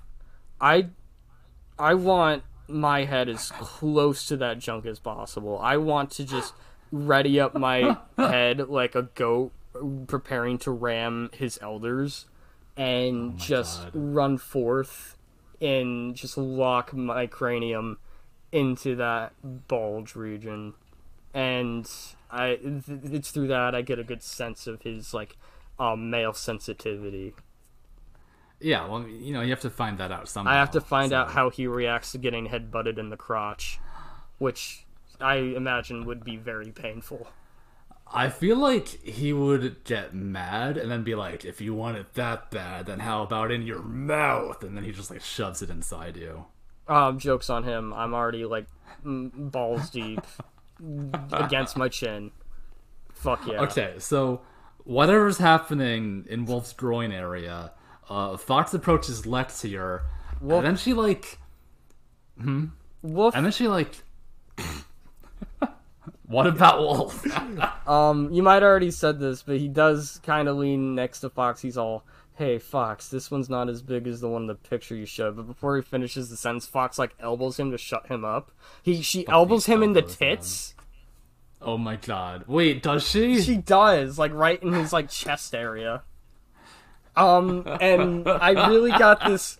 I wanted to find that picture. You know the one that's going around Twitter with like the guy and the girl. They're both in the car, and they have like the That's, white. that's Wolf and Fox. That's Wolf and Fox on their way to pick They're up the rest just of the. like showing their like their very large chests, and they, they're both wearing tank tops. That's them on their way to like pick up the rest of the pack from like oh my god. target practice or something. We have to make that edit later. Oh my god! Yes. okay. So okay, so Fox approaches Lex though, um, and then she she like sensually strokes Lex's chin, like while making bedroom's eye bedroom's eye blah bedroom eyes at him. And Lex like responds to this. Like I I feel like his sexuality got confused See, by how hot Fox is. I think uh, what it is is um, it's like I said, Fox likes to be very open with people and kind of get what she wants through that sort of um, sort of charm she portrays. And she doing this, she just kind of struts up to Lexington, kneels down, looks him in the eye, and just kind of like caresses his face. And she's just like, "I've heard stories of a gargoyle like you, only much bigger." And then, And then Wolf is like, you know, we'd love to meet your friend. and he cocks his brow and everything. and it's funny that she's doing this right after Wolf is like complaining about wanting the bigger one. Yeah, but she she also wants the bigger one, but she knows she has to approach Lex in like Like my a first my way. first my first thoughts when I saw that scene was just like, "Oh my god, mommy, please." just oh my god. She's she's she has no right to be that hot. Her ass looks really neat in the jumpsuit as well, I noticed. Like you, She you- always looks good. Yeah, yeah. You can tell she keeps in shape. They all do. Except Dingo, who I guess is going flabby. Yeah, oh, flabby. Too flabby to be in a Mm-hmm. Central American, War. That's a scoop, sir. So So okay, so Lex agrees to like uh bring Goliath back to them basically. Um and this point I start feeling really bad for Lex. oh god, yeah. because like he's just such a fan of them and he's like he just wants he just wants to like his friends his new friends to meet like his old friends which is what i like to do whenever i meet someone new i'm just like i want to introduce you to like everyone i already know so that we can all be friends together like that's what i always want to do yes, yes. but it doesn't always work out the best way yeah, no. I also that's, that's feel here. like, um, I feel like even if the show isn't outright saying it, I feel like Lex is picking up on like the LGBT vibes here, and on some level, he understands that like he's finally met other people who are like himself. Yes. Like, are you getting that too? I am absolutely 100% getting that. so like he that's another reason he just he really wants to be accepted by the pack he wants them to like him Mm-hmm. um he's doing what like a lot of like young gay and like young lgbt people do like he's trying to build community where he Mm-hmm. can because you sort of have to build your own community you have to like, like go out and find your own in a lot of ways Yeah, and Um, it gets really more uh, apparent with that with the following like conversation he has um, back at the castle. Uh, but Mm-hmm. before we get into the rest of the episode, um, I think we should stop our recordings where we are now and just kind of take just test out to see that everything turns out okay. After a brief intermission, Sid runs to get a soda. All right, let me crack open a cold one. Well, it's not really cold; it's like room Yeah. temperature, but I don't give a shit. a cold one with the boys Yes, or as vampires would put it, a boy with the cold ones. what oh because they're the cold ones Vampires are cold, and they drink from boys. i get it So we transition uh, to the gargoyles back at the castle who are anticipating the dawn soon, and they're worried because Lexington hasn't made it back yet. yeah hudson Um, says something like oh he always cuts it close Oh, Goliath. Goliath says that. Okay. Goliath says that, but like, I'm pretty sure the only ones we've seen cut it close in the show is Goliath himself and Hudson. Like, they've both Yeah. missed the dawn like several times by now. I do think that that line was meant to imply that Lexington just has like a bunch of wanderlust in the modern world. Like he really just wants to immerse himself in it. Yeah, he's always hitting the, the discos, those gay clubs, and he doesn't come back when he's supposed to. Yes, but The um, discos, as soon as the leather bars.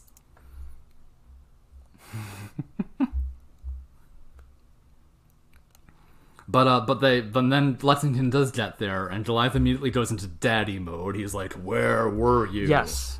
Yeah, both Hudson and Goliath are standing side by side, and Hudson's just. I mean, Goliath's just got his arms crossed and he's looking down. Uh-huh. yeah, they're him. like a united front right now, and this this upstart whelp. He's he's got his dad pants Mm-hmm. on, or his dad loincloth, if you'd rather. So Lex is all like, I, he says that he's made them some new allies. Then he starts talking about like how fucking cool the pack is. They're heroes like the gargoyles are. They defend the innocent, and they do it on television. He says. And Goliath is both just like really like concerned, and he asks in just like this stern voice. He's like, "You let them see you." Uh-huh. Yeah, but then Delette's just like really defensive here. He's like, yeah, and why not? You made friends with Elisa." And then Goliath says that that eternal parent line that was different. Yeah, that's such a parent line. Um, and Hudson points out that the rest of their conversation is going to have to wait till nightfall because Dawn is there, and Goliath and Lexington kind of turn to stone in this little father-son yeah, face-off they're, they're going at each other. Um, and like normally in the show, I feel like there'd be like now there'd be daytime scenes with like the human characters, but for this one, we just smash cut just- right to the next it night and just right back, to back the argument night. like immediately, which I just thought that was really funny. Yeah, yeah, and Lexington just like is just like, what makes Elisa different? She's because she's a defender of the innocent, like the pack is, Mm-hmm. is what he says. And it's it's here where we take in just how little the gargoyles know about reality television. Right, yeah, because they think that the Pack TV show like is real life and that really happened, and Like there's they're not and like the they- show that they they, just watched in really- Madison Square Garden, they fighting believe the in evil the ninjas. Yeah, like they think that was a real thing. Like they're not aware it's like a fantasy or it's just like a story or fiction that they're that they're looking at. Uh, yeah, because Hudson defends God. Lex. He's like, I've also seen the pack on the picture box. They're constantly attacked by these evil ninjas. Oh my god, I love Hudson. So it's just like, uh, they're such himbos. Oh my god. It's like I said earlier with the wantingness to want to try and accept um, one's like perception over what reality is like. And there's some sort of like symbolism diluted there in the writing. and Lexington insists that you know he's not stupid. He didn't tell them all their information and didn't inform them their powers or abilities or where they live. Which this is starting to sound a lot like a stranger danger kind of monologue. Sort of, yeah. But I mean, Well, no, I mean it is though, because it's like it's a it's a child wandering away from home, meeting some strangers, coming back and telling them about it, and like they're like, why would you tell them all this stuff about us? And he's like, I'm not stupid. I didn't tell them all this stuff about us. yeah. Like there's there's the um the balance you have to keep between like wanting to find uh like kindred spirits who can accept you and also like keeping safe yourself. And I feel like before the internet it was um much more difficult to do that. Like I, I do feel like a large part of this episode with Lex in particular is sort of mirrors like the the day experience in the pre-net days Yes. of having to like find your clan so to speak um, through like personal absolutely. ads and stuff like that rather than through online chatting um, and how like it's a scary thing to do and how like you don't know what'll happen like what if they don't accept you what if they're homophobic themselves? Right, of course. uh, like what if you're the victim of a fucking hate crime? Like it's there's all this stuff you have to consider before you even begin to open up to other people. It, it really ties into what Lexington goes on um, in this little this nice monologue that I love, uh, where he talks about not wanting to hide from the world forever, that there are kindred spirits out there and they need to be given a chance. or else Um, they'll always cle- be alone he says yeah, he's he's it's clear here that he's definitely has this internal fear of winding up alone and not Mm-hmm. and like you know i don't know if this is intended in the show but that the word alone also always brings to mind demona with me because that's like the word associated with her a lot of the time and like a- Mm. as we know like she she has never opened up to human culture or any humans like at all and she is she's forever alone for that reason Yes, exactly. Yeah, that's a good way of looking at it, honestly. Like, um, they talk about how alone they are, but it's like, you know, uh, at least Goliath uh, wound up um, having his, you know, having, you know, the trio and Hudson and just the whole clan and Elisa. yeah he's got the um, boys Demona, Demona never really had anyone. she had macbeth Uh, yeah, but let's not get such into a- that right now oh, it got really serious for a minute there, and then we were just like Macbeth. Macbeth is a funny guy. Okay, so Goliath does reluctantly agree after Lex pretty much like opens up his heart in this like heartfelt speech, and then the three are definitely super happy about that. Um, so it's decided that Goliath and Lex will go together to meet the pack, like just the two of them. And if it's proven safe, then they can introduce the rest of the clan, like afterwards.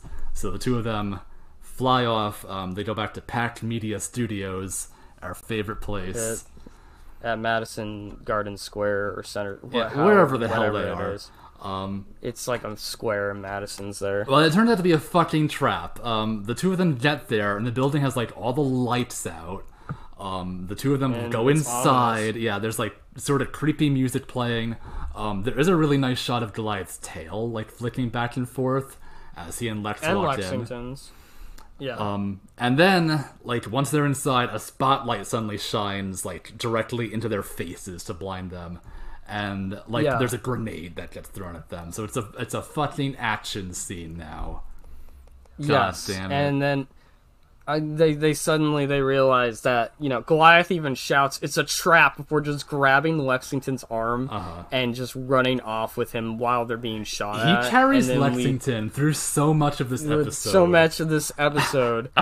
I'm so fucking jealous of I Lexington. know, like he got carried last Because- episode too, but he was unconscious for it. In this episode, he no, gets he gets he gets fully carried aware. so much by Goliath, and he gets carried around by Wolf for a brief bit. Oh my god!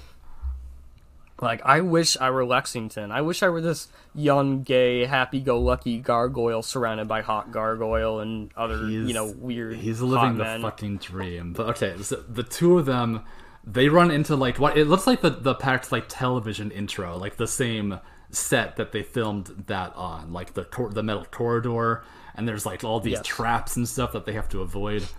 Um, So Hyena shows up first. She like slashes at Lex, cuts him, knocking him and then she like giggles then and, runs, away. aw- Like a she runs away bitch. laughing. It's like a girl who it's it's like a kid who stole from the cookie I know, jar. she's and like, now just kind of like, So like Lex gets fucking furious as uh, here, and like he starts chasing after her. Uh, cause On he's like, fours. "You cowards! I thought you fought with honor." Like he's so mad. Um, yeah, I would be pissed off too. I mean, like he put his trust in these people, and the first thing these guys are doing are trying to attack them, and he's just like, Right. Oh, so like all the times Goliath's been betrayed already in the show, like this is the first time that like Lex has like really been betrayed himself. So like Yeah. he's just fucking flipping out. "This is a really good building episode for Lex. It is such a good Lex episode. Um, Mm-hmm, so he almost dies to a spike trap like immediately, but Goliath pulls him back. Just Goliath gets to be the voice of reason for once, and he's not the one fucking going berserk. Um, and Lexington and Goliath both just tear through these spikes super it's as they amazing. It's it's Day Yeah. Fury is what we're seeing right It now. is. Um, And then they continue on this little trap maze until they encounter like a hallway or a room with like closing walls trapping in. Yeah, them, this is like that scene in Star in. Wars when they're they're in the trash compactor. And Fox is like above in the rafters watching them, I guess. Mm-hmm. And she's just like, Welcome to the gauntlet. Normally the traps in here aren't lethal, but we juiced them up a little just for you two. And I'm just like, Ugh, mommy, please step on me. She's a bad person. Um, she is. I love her. So okay, so they're they're in this compactor for like a hot second, but then Goliath like he just has a fit of gay fury again, and he this beautifully He just straight animated fucking punch like goes right through the wall and then like rips the fucking punches wall apart to through get the through. steel wall and tears at it like he's coming out of like a Looney Tunes episode. and then he picks up some other steel device in the next room, picks that up, and creates another hole in another steel wall. Yeah, like he's And- he's so fucking done right now. He's like, I'll destroy every wall in this goddamn building. Like, but I'm getting the hell out of here right now. He's in dad mode. Like, don't fuck with his kid. Yeah, like he brought his kid along on this, so like it's not cool. Um, they see a skylight and they just they climb up to it, and then they they actually do get out. Um, the rest of the pack uh just sort of stare after them like oh we forgot they could do that but then they all go out and then wolf says let the, hunt, begin. yes the the thrill of the hunt even The thrill. Hey. Oh, it's the title of the episode. so Goliath and Lex fly to a nearby building. you mean they glide I- to a nearby building and Lexington is still enraged that his trust was betrayed and they had attacked them. And Goliath responds with that they had likely planned to from the beginning. Mm-hmm. Lexington makes a comment about how they're worse than animals, and Goliath responds with, "An animal hunts because it's hungry. These ones just do it for sport." Yeah, Lex is like they're no better than animals, and Goliath's like actually they're fucking worse than animals if you think about it. Yes, and something that breaks my heart a little is what Lexington Oh says my next. He's just like, "I'm never trusting to anyone again," and like you can hear his voice crack and everything. like he sounds like he's literally crying as he's saying this. I know, Um, and I hate it, but we're rewarded right after that with just a fucking explosive boomerang interrupting their conversation. Because Dingo's Australian, so Dingo. of course he has boomerangs. like I, I didn't think it was a boomerang at first. I just put that in my notes because I thought it was funny. But No, no, I looked later on. It is. a is. boomerang. Dingo's amazing. Stupid. He's so stupid. They're all so stupid, and they're all so gay. He's so yeah. Because then he throws he like wraps Goliath in Oh, like this oh, rope yes, thing. yes. What? Ding, ding, ding! Very first bondage scenario with Goliath. Am I right? Wait, is this the very first one? Yes. I cannot yeah, believe it took tied this up yet. long. It was Dingo. He was the start. Dingo did it, everybody. Dingo's lasso wraps around Goliath, restricting his movements and coiling around his pecs as he's struggling to Yeah, get out of it. Yeah, his pecs and his he- arms, and he, he's all Yeah. flexing and struggling and like, ah. Dingo's just doing that Australian hick laugh in the background, very Wolf Creek sounding. But the bondage doesn't know, last yeah. this time. Because Goliath does just like snap the ropes. And then he Like stoops nothing Lexington up in his big manly arms and they just like go off the fucking building. We describe that the same exact way in our notes. He scoops Lexington up in his arms and runs runs off. Is what I put. We think alike sometimes. Great Um, minds think alike. Lex insists he's all right though, and like he he makes Goliath actually put him down, and then they fly off the building together. Like Lex is so Yeah. Fucking angry and hurt this whole episode. Like, Like, his voice acting just like is so good. Oh yeah, no. Um. Oh god, I was just looking it up when I was watching the episode. I forget the name, but the voice actor did a really good job here. Oh, I don't know his name right Um, away either. Uh, Uh, Thom. Uh, uh Adcox, Adcox Hernandez. Hernandez. He does he does a bunch of voices. He was the I voice of Felix that, the yeah. Cat. Nice. He was yes. Wait, he's been in a soap opera? He's been in Falcon Uh, Crest as Brian. Okay, we have to look this guy up later. I, wonder, I don't know what that is. I don't. I've never heard of Falcon Crest. Oh, he was in Scooby Doo and the Goblin King. The Goblin King, like Labyrinth, Jareth. Well, there, there's that direct to DVD Scooby Doo movie where they go to this fantasy world. and There's a Goblin King there. That sounds amazing. That they go to Labyrinth. It's a. world. I actually really liked that one because there's like a hot werewolf guy in it. Nice. Um, okay, back to this episode. Um, so the next person they'd run into is Jackal, who is like waiting in their flight path somehow, and he throws Yeah. a knife, which cuts these like electrical wires, cords. which the cords then cut- electrocute the gargoyles who fly under them. This is a very involved plan. This is a very elaborate plan. Like- Like he's he. It's like he had this setup predetermined in case this ever happened. Yeah, like. Uh, it worked though, like uh, in classic gargoyles get- fashion. The bizarrely convoluted plan works perfectly. Yes, like they get electrocuted, and um, it's also the first scene where like a character is electrocuted in the show as And well. yeah, that's going to happen a Pack's just- lot from now on too. The pack's just breaking boundaries. they're honestly. they're Like, very kink friendly. be? I feel like. They are. They established the kinks Um, but Goliath is like in rest of the fucking boss mode this episode. Because he recovers in midair, uh, grabs Lexington again so he doesn't fall. Then he grabs onto a fire They escape. can- They grab onto a fire escape, try climbing up the building, but we just hear Hyena laugh again, and there's just another explosion, I guess. Right. So this time they, they fall all the way down to the street, and then they just lie there. Uh, it looks like they're Into the it looks like they're they fall fucking into some dead. trash cans. Yeah. Whenever a character falls into trash cans, it means they're knocked out. Wait, did they fall into trash cans? They do. Did they? The trash cans. The trash cans just disappear. I will go back in the episode. They no, I believe you. do. Okay.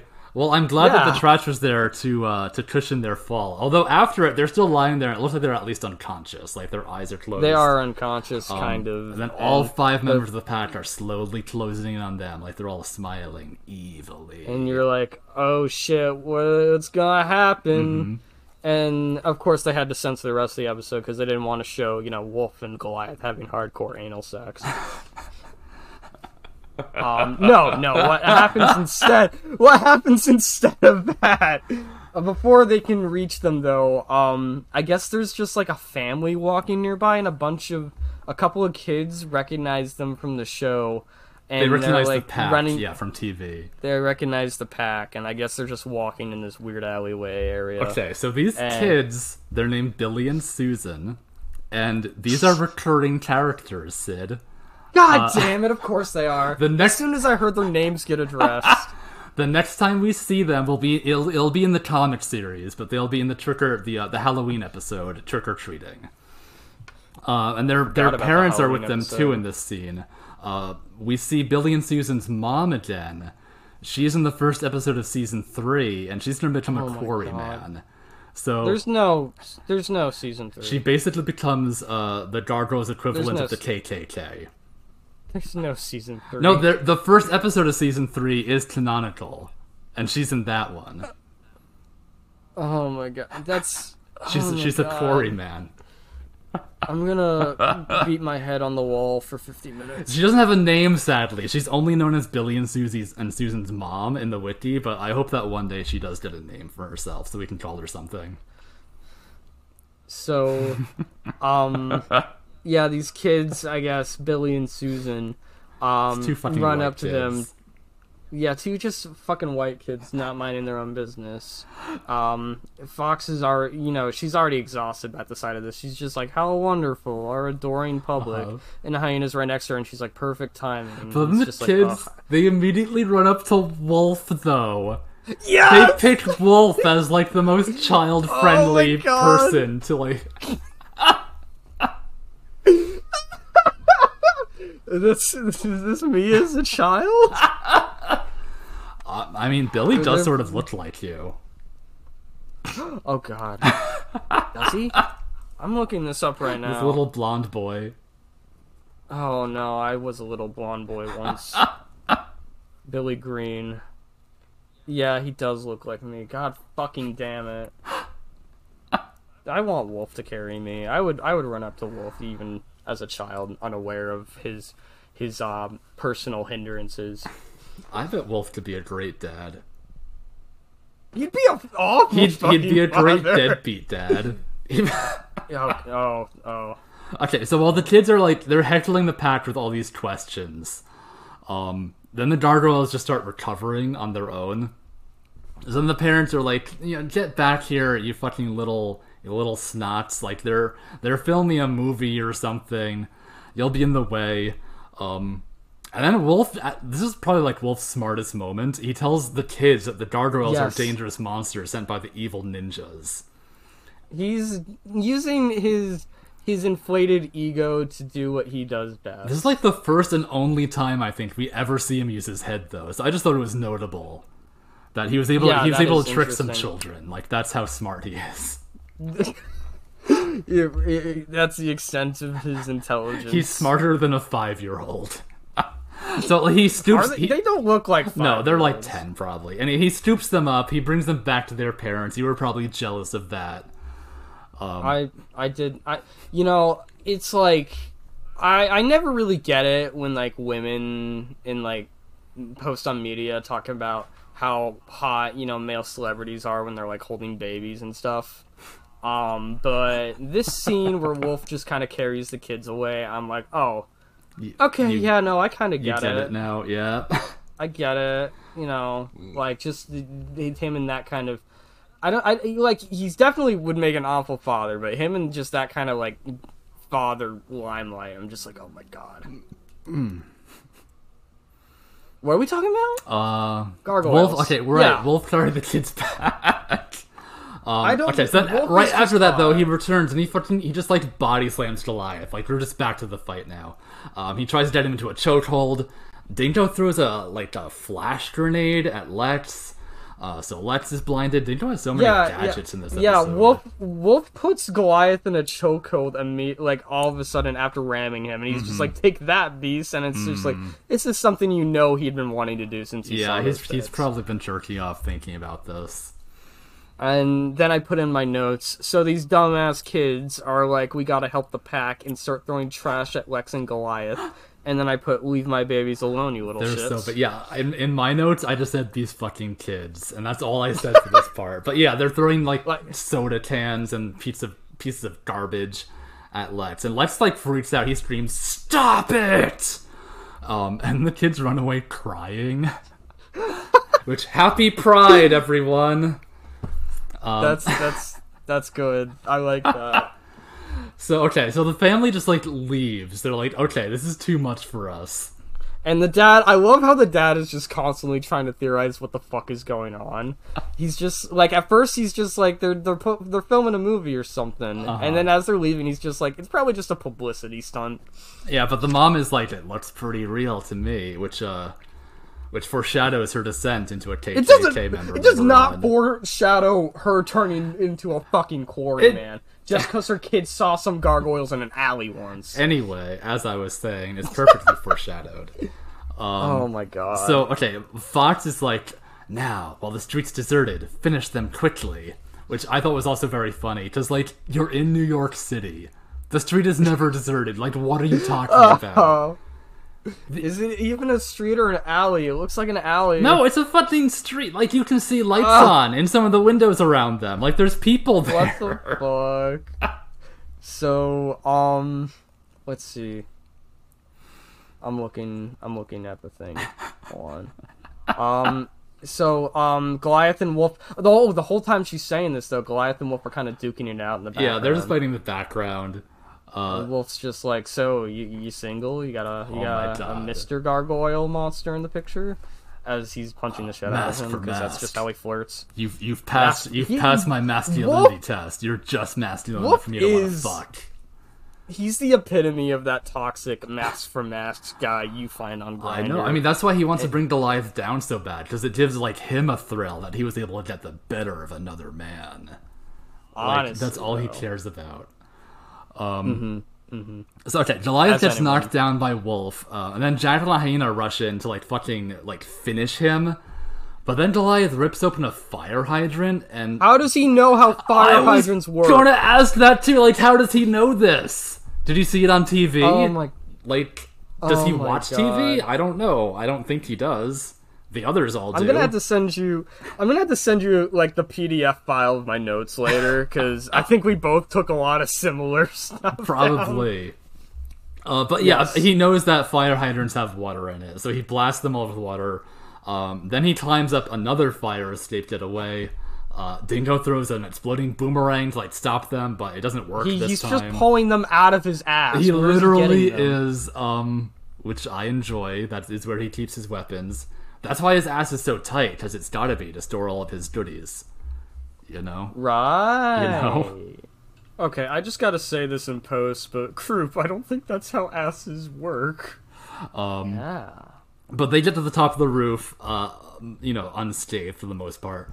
The rest of the pack, like, unzip these fucking grappling hooks, and they just start following them up the building.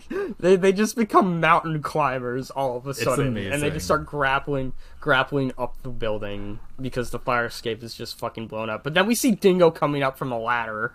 Next thing, Yeah, he's first. Oh yeah, that's right. He is climbing a ladder all of a sudden. He probably went off his rope onto a ladder. It's not important. I'm not going to worry about it. Um, but he because he freaks out when he gets to the top because he sees a fucking gargoyle and he whips out his gun and like blows its head off. Um, and it's like just a legit gargoyle statue. Yes, it's an actual like statue of a gargoyle.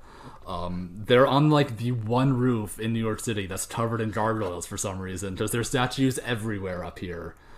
Um, so it's the perfect place for Goliath and Lexington to like hide themselves. Fox is, Fox even gives like a little Elisa-ish comment. She's like needle in a haystack. Uh huh. I feel like the two of them would get along if they like spent time together. Don't they meet at some point? They have to, but like I could see them being like girlfriends, like you know, like Oh. girlfriends.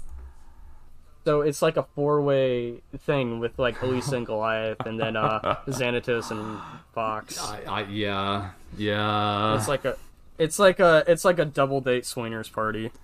Yeah. Oh my god. Okay. That's that's an image Except- in my head now. That and Owen's just kind of there watching the whole thing. No. okay, but okay, so the pack they all start like sniffing around for the real gargoyles who are up here. sniffing around. Yeah, because they're the pack and they're furries. Yeah, the dynamic interestingly changes here as the hunters become the I literally wrote that down right here. Oh, this is why we're bros. Okay, yeah, just Goliath starts like taking them out one by one. Like you see like a shadow shift and it's him, and it's like oh, like he's being sneaky now. Yeah, and as they're walking through, Jackal notices uh, Hyena, his sister, is missing, Mm-hmm. and then all they see next is just her glove falling on the Okay, ground. when I first saw that though, I thought that Goliath had literally ripped her arm off. But then I remembered that like, oh wait, she's not a cyborg yet. That was just like a glove she was wearing. So, yeah, no. Um, what I wrote down here was she's just like gone. I guess that, or she turned into a glove. and then Fox tells the group to stay together, and they all just kind of huddle their butts together in group formation. Like, like, Dingo and back. Fox definitely like press their asses together as this is happening. I remember seeing just that. like old times. Uh huh. Um, And it's funny because as soon as she, says this, like a second later, Dingo just kind of like drifts off just a little, and then he's just carried away by Lexington. We don't see him again the rest yeah, of the they just, episode. he just like, bye Dingo. Like I guess you're gone now. I wrote down "Bye Felicia" in my notes. Oh my notes. god. Uh, Jackal like And- decides that enough is enough because he sees the writing on the wall and out like, right he runs away. Uh, Fox and, And Wolf are like, like, "You no, we fucking can take idiot." them. And then he's just like, this wasn't in my contract, and he runs off like the sissy rich boy he is because he's Draco Malfoy in my head now. And then he gets mullet. got by Goliath. It looks like Goliath just fucking eats him. Like you just see the shadows It on the does. wall of Goliath. Like It's, so it's like appearing. it's interesting because we know they're not dead, but like, what the fuck did they do to them? I, you know, they're probably just knocking them unconscious, or maybe they're fucking them to unconsciousness. We don't know. It could be anything. I mean, there's a number of possibilities. So it's just Wolf and Fox left Yep, that we're dealing like in with. Star Fox. And yeah, no, the lesbian gay solidarity team up. Uh, so Goliath has been a fucking boss this whole episode. um, he burst through a wall. Bust, so he busts through like five walls already. this Yeah, like okay, he's like the fucking Kool Aid Man. He bursts through a wall. he grabs the two of them, and then he slams them through a wall. Like literally just through a brick wall. Um, then they fall down like into a building where there's a photo shoot happening. There's like a guy taking ki- pictures of swimsuit models just hanging out on a beach backdrop. Yeah, it's a bikini babe party. a bikini babe. I don't know. It's really it's a very jarring change of like setting because we go from like stalkers on the roof hunting time to oh it's it's a lovely day at the beach and swimsuit models all of a sudden. So okay, so like So- they all sort of screamed, just like four people, just or three people, just fell like into the middle of their set. Um, one of the bikini babes like goes to run off, but Fox like grabs her and makes her into a hostage. He holds a gun up to her head. Yeah, I think this probably made me realize as a kid that Fox was like definitely some sort of bisexual, just because like this scene was sort of hot with her holding this like bikini woman hostage. I don't know. Yeah, and she she knows how to handle uh, women, but it's Yeah. interesting because they don't really do anything with the hostage except just kind of walk backwards out the building as Goliath Yeah, like Fox them. doesn't even hold the gun up to this hostage. She's pointing the gun at Goliath, who is just sort of like following them. And like Wolf is in the background, like he's not really doing very much. We did get a nice he's shot just of his like butt following though, as he was getting to he's his feet. following yeah yeah he's just following fox's lead and the photographer guy is like taking pictures of all this Yes, which i guess comes up again later yeah, and like you assume he's taking pictures of like the giant purple, like muscular, winded monster in the studio. Um, but apparently he isn't. But we'll get into that at the end when they bring it up in the show.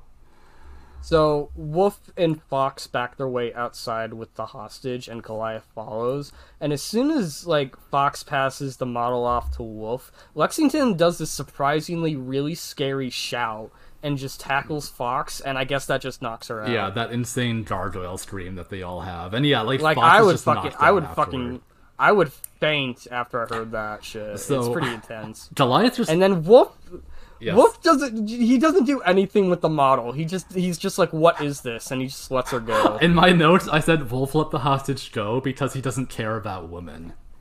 That's all that I said. Like he just doesn't acknowledge that they're even like a thing. he's just like, what? No, like I literally put in my notes, um. Wolf lets the model go and runs after the monster or Scargoyle. Yes, because he has his priorities straight. Yes, yes. Um, and he, he's just, he's just handed like a scantily clothed woman. He's just like, "What is this? Get out of know, here!" yeah, like, he doesn't recognize it. Like what? I don't. I don't recognize what this is. He's like the fucking Terminator. He scans people and sees and determines their masculinity. yeah, like all he stands is like models. outline, and like that's all that he has. So he's like, does he like do not detect like disengage? So, um, he runs after Lexington, and then he like picks him up in this really tight bear hug formation. I, I did not remember this part of the episode when I I didn't it either. but like yeah like he just like wraps very his quick. arms around Lex and Lex is like really really like squirmy and like uh, uh, uh, but Wolf is just like hugging him really tight against his body like both arms and I don't know like ooh, God, I, I had to fan myself a little bit I'm sweating right now. I was waiting for it to happen, and it's happening now. Um, I get really sweaty uh, when I when I think about guys I like. Uh, in case the listeners aren't aware, um uh, I actually um I don't know if I talked about this earlier. I probably did, but I sweat through two pairs of shirts last night, taking all Oh my these notes down and watching the Uh, episode. like it's true. He sent me the video of it for some reason of just I his, his sweaty shirts. I took it off and laid it down on the bed. I'm like, oh my god, I can see the pit stains. I'm so out of composure. Uh, but Goliath is also out of composure because he gets outraged because only he's allowed to hug Lexington close like that. So And it's funny because I you can tell Wolf just did that as a tactic to get Goliath's goat because he just immediately tosses Lexington to the side. yeah, and just like bye Felicia again, and then he just like a come at me, bro, to Goliath. he he, he says finally some real action in this super action. gritty voice. Like this is what he's been waiting for his whole life. He wants to fight some super fucking mo- muscular monster some, man. some muscular big dicked monster. Oh, it's an, it's, it's hereditary. And then Goliath just fucking decimates him. Like, um, he okay, no, I no, no, no, no, no. You can't just say it I like that. figured- There's stuff okay, that you can describe There's stuff that happens. I'll, I'll allow you to please. Okay, cue the action music. Dun, dun, dun. He grins and just attempts to body slam Goliath into a nearby wall, which Goliath stops by grinding his foot talons into the pavement. He puts Wolf into a suplex grapple, and Wolf kind of grunts out as he's being grabbed. His head is just kind of a little close to Goliath's armpit for a Oh second there, and he can probably get a good sense of like just that gargoyle musk. And it's ah, here ah. where people usually fall under the spell of just wanting to desperately fuck Goliath. But Wolf here is just affected like horribly because he becomes obsessive with this man for the rest of the fucking show. Yeah, like years um, afterwards, he's still sexually obsessed over Goliath. And so Goliath, in the end, just picks picks up Wolf, has him in midway through a backflip flip formation, but just tosses him away. And Wolf lands it with a somersault, his timber ponytail just flowing in the breeze as he turns around and tries to go back in for more. And we get a shot of muscled Goliath approaching Wolf, and Wolf, surprised at first, begins to clench his own fists and, and muscles and prepares to go in for a punch. Almost like, no, I have to prove I'm the more bigger man. I'm the alpha. And then he goes in to use all his strength to punch Goliath, and Goliath just catches the fist, no problem. This part was hot. I remember this part. Yeah. Wolf looks horrified. Like, no, this has never happened to me before. He's just like, for the first time, control is like being taken away from him by a bigger man, and he's just like super scare roused, like scared and horny. Yeah, I think And I think the Goliath just- difference between like this fight and like every other fight Wolf's been in is that Goliath beats him through like sheer brute force, which is like what Wolf is supposed to be good at. Like that's his thing. So being like actually Yes. out muscled is just something that he can't wrap his head around at all. Oh god, no, not at all. So that that of course sets him off.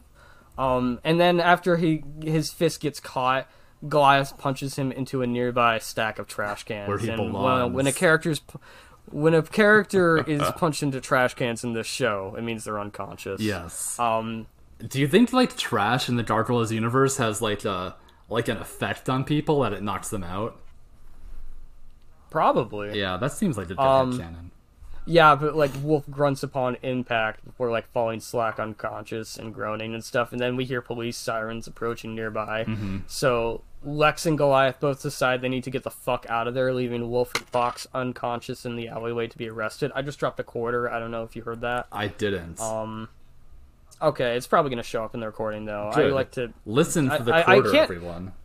See, you might hear it sometimes, but I can't not do things with my hands as I'm like trying to focus on stuff. Yeah, yeah. So I'm always like playing with stuff around me. Like I have nail clippers and quarters and stuff. But right, so so the two of them just skedaddle out of there. Um, Um, and I I think unfortunately I'm pretty sure that's the last we see of like, um, is it the last we see of Wolf for the first season? I think it is. uh, I don't. You're the wolf expert. I feel like you know the answer to this. Because the next time we see Wolf is in season two when he's in jail. I know we see Fox again, and we see the twins again. Yeah, I don't think we see Wolf or Dingo for the rest of this season. Yeah, they're both like just off in jail. They're off something or whatever. having gay sex with each other for the rest of this season. I There's some kind of hidden story going on yeah. behind the scenes. Like Dingo's tight So- butt, Wolf's big dick. It's a it's a match made in Hmm. in somewhere. Mm-hmm. Mm-hmm. Okay, so Lex feels like super guilty. Um, Yeah, they're back they're at the back castle at the castle. Yeah. Uh, consoles him though to see saying that actually Lex was right.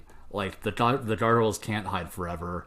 Um, whether they like it or not, reminds- Mm-hmm. they are a part of the world. They do need allies, and sometimes that does mean taking chances, which they they did here. He reminds Lexington that because of who they are, they have to be cautious about trusting strangers, which again hones into the episode's meaning and such. But he reassures him, though, by, you know, when he says he's right and when he was referring to searching for allies and finding ways to live in this world rather than to hide from it. Um, sometimes they have to take chances like they did tonight, just hopefully with different results. Yes, I think it's a nice like And- Mm-hmm. it's a good queer message to give kids. Like even if even if like you are betrayed or you do get heartbroken or whatever, like you shouldn't Yes. shut yourself off from the world. Like you should still remain open to new people who won't treat you that way. And it was um, yeah, absolutely. Goliath adds to do otherwise is to remain forever alone. So dramatic. Yeah, it would be more dramatic if Forever Alone didn't become an, such a beaten to death meme in the 2000s. Oh, I didn't even know that. Uh, Lex does have a really sweet line here. He says, "It's nice to know there are still some heroes left," referring to Goliath. Just like so Oh. cute. Oh my god. Yes. Oh my god. He looks up to his dad. He does.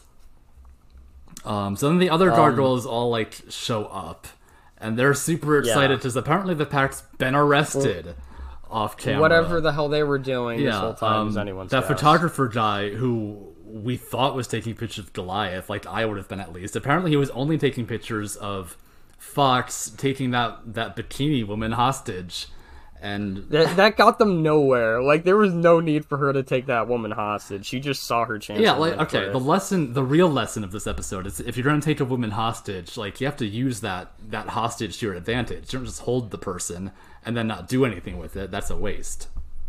Maybe they she was gonna do something, uh, but Lexington did kind of knock her out afterwards. He did. He was fierce.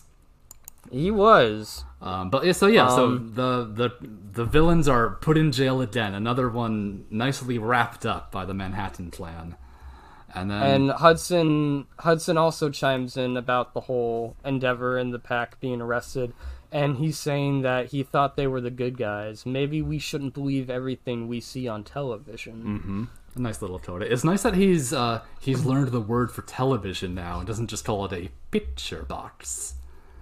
Look, they're all gay. they don't know what things are. So it seems like the episode is is over. Like everything's fine. Uh, but then there's one last scene. Uh-huh, I hate uh-huh. this scene.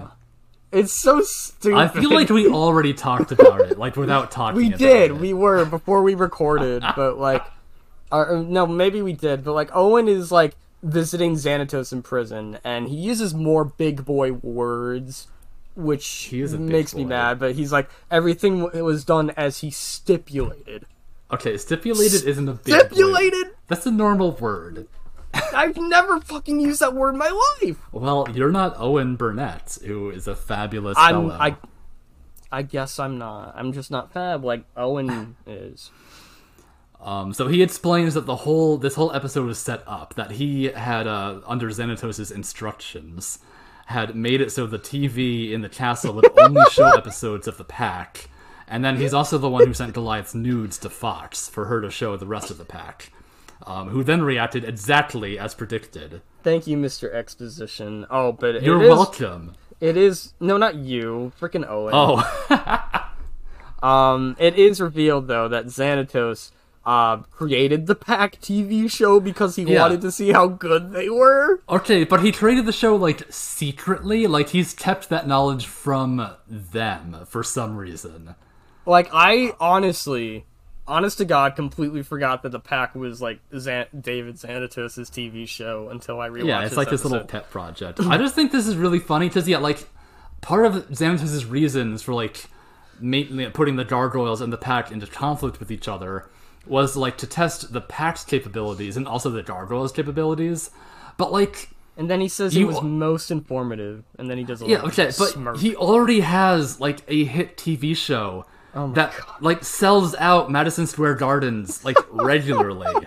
what else do you need? Like, Oh why do you need a mercenary death squad on top of that? like Xanatos. Oh my god. It's just like the writers are just like desperately trying to find ways to make Xanatos more plot important, so they just say he owns everything. Like, I think this is Xanatos just like being full of shit again. Because he's all just like, yeah, I say the test was most. Well, why is he telling this to informative." But, like, Owen? he just wants Owen to think he's. He doesn't give a shit what Owen thinks. He knows Owen is his bitch. He does. Um, but yes, that's the episode. Uh, Oh my credits. We- god. the pack. oh yeah. Oh my god is right. This was there was so much in this episode. Oh my god. There was so much Oh. in this episode. It was definitely the horniest episode by far. Um, definitely the horniest episode by far. Definitely the most action packed. And the gayest. It was. It had it all. Yeah, I, I would give this episode a five out of five. I'm giving this a, a strong 5 out of 5. Uh huh. Maybe even a six out of five. Yeah, uh, this is definitely a favorite of mine for many reasons, most of which having to do with Wolf and my yeah, I think you might have mentioned that a few times. my constant thirst for this character who is just a huge fucking dumbass, ridiculous, just wears- just a douche bro. wears stupid clothes and has stupid mindset morals about other guys and the, the alpha male mindset. Ooh, I want him to fucking I want to drink Uh-huh. his dirty bathwater. like he's the kind of guy who I hate in real life, but who I love like humiliating situations to befall. Yes, yes. Like yes. I love to see him taken down a peg. Like that him, I mean. recent art I had commissioned by Dragon underscore Aces. Oh my gosh, you got art. I got art um a couple episodes ago. You had painted a scenario like at the very last like 10 seconds of that episode you were like talking about like oh what if Wolf and Hudson like wrestled in singlets and that that just didn't leave my mind. That ate away at me. And That's had really to funny because okay, because you said that on Twitter when you posted this artwork, but I can't even remember saying that to you. Like I I'm w- sure that I did, but I just I don't remember it. just to make sure, and you definitely did. Um, I do have a huge thing for wrestling, um, the domination aspects, uh, and singlets are also a bonus. And Dragon Aces did a very nice, uh, lovely job of uh, you know putting a singlet on a gargoyle. Like it just like reaches down to his back. There's just an open arch for his wings and everything else, and his tail.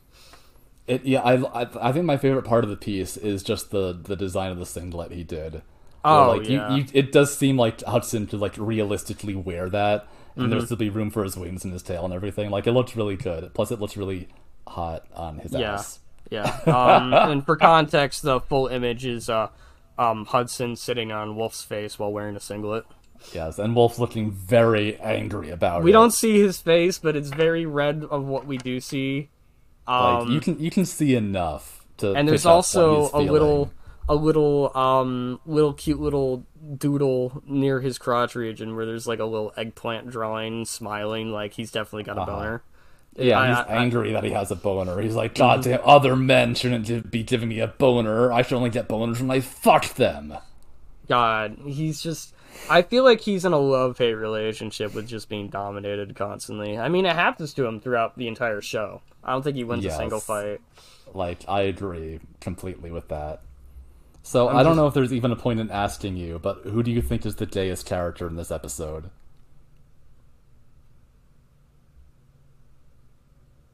Hello?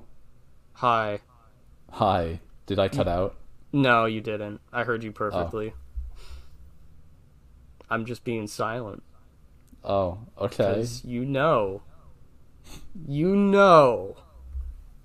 You know mean, who the gayest character in this Maybe I want is. you to say it out loud. The Is gayest character in this episode is none other than Jackal? God fucking no, God, fucking goddamn Draco Malfoy ass British ass fucking thinks he's like British, but he's actually fucking New Yorkian ass jackal with his weird incest sister who's like constantly laughing around. No, I'm talking about Wolf. He is the Oh. gayest of the Not pack. uh, not Owen, not Lex.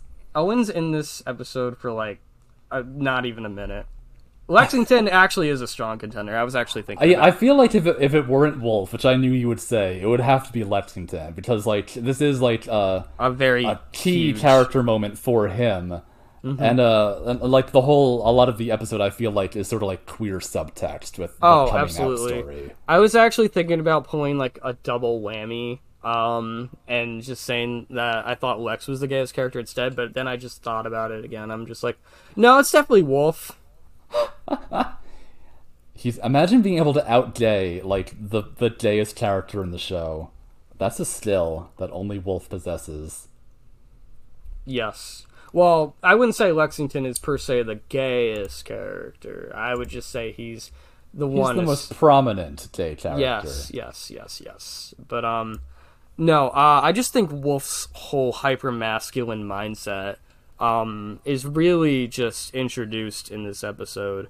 Um, and Lexington even has like this weird one-off little um scene with like Fox flirting with him, which I don't think he like really reciprocates or anything like that. But um, I think I think he's not used to like receiving that sort of attention. That's what I'm saying. Yeah, I think that was Yeah. a, a good majority of it. Um, like you know, he's never ha- just had someone walk up and like touch his face and just like whisper sensually to him and shit. Um, yeah, like the- you know, he and Broadway and Brooklyn, like they sixty nine each other, but they've never the- like stroked his face lovingly. Like And that, then you have sad. Wolf, who literally throws a model to the side so he can go and fuck around with Goliath. You can't top that. You can't top that level of gay.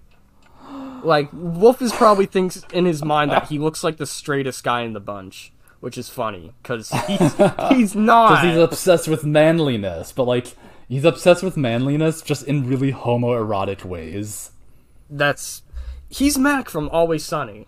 Yeah, I can I can understand that. Um, yeah, no, Wolf. There is no universe you can convince me Wolf is heterosexual. I'm just sorry. It- I'm just so far immersed into my mindset that there's people can show me like like I've seen fan art of like of like just Wolf with like I think like someone's OC or something, someone's female OC, like the mutated Wolf, and I'm just like, no, that's It's he's just weird this is this is because you can't imagine him that way. like I like just the thought of just like Wolf kissing like a female on the mouth is just weird to me. I, I Um, do feel like he does have a lot of internalized homophobia. I feel like And- yeah, see that is something I put in my Like maybe notes. he wouldn't admit that he is gay, but like he is. I put in my notes that as I watch this show, I want to kind of reassess Wolf and kind of determine whether he's a closet case or not. Like, is he aware of how gay he is? Does he like like like does he know no or is he just that dumb? D- like does Fox Fox knows. Like Fox Fox, knows. Fox probably knows that's like the only reason she hasn't made a move on him. Just she realizes it and he doesn't. That would be really funny to me. If like years later he's like, "So I know you slept with everyone else, but how come you never tried with me?" And she'd be like, "Honey, you're gay." And like that's the first time he'd be like, "What?" Like Oh he my finally God. realized it because she said it.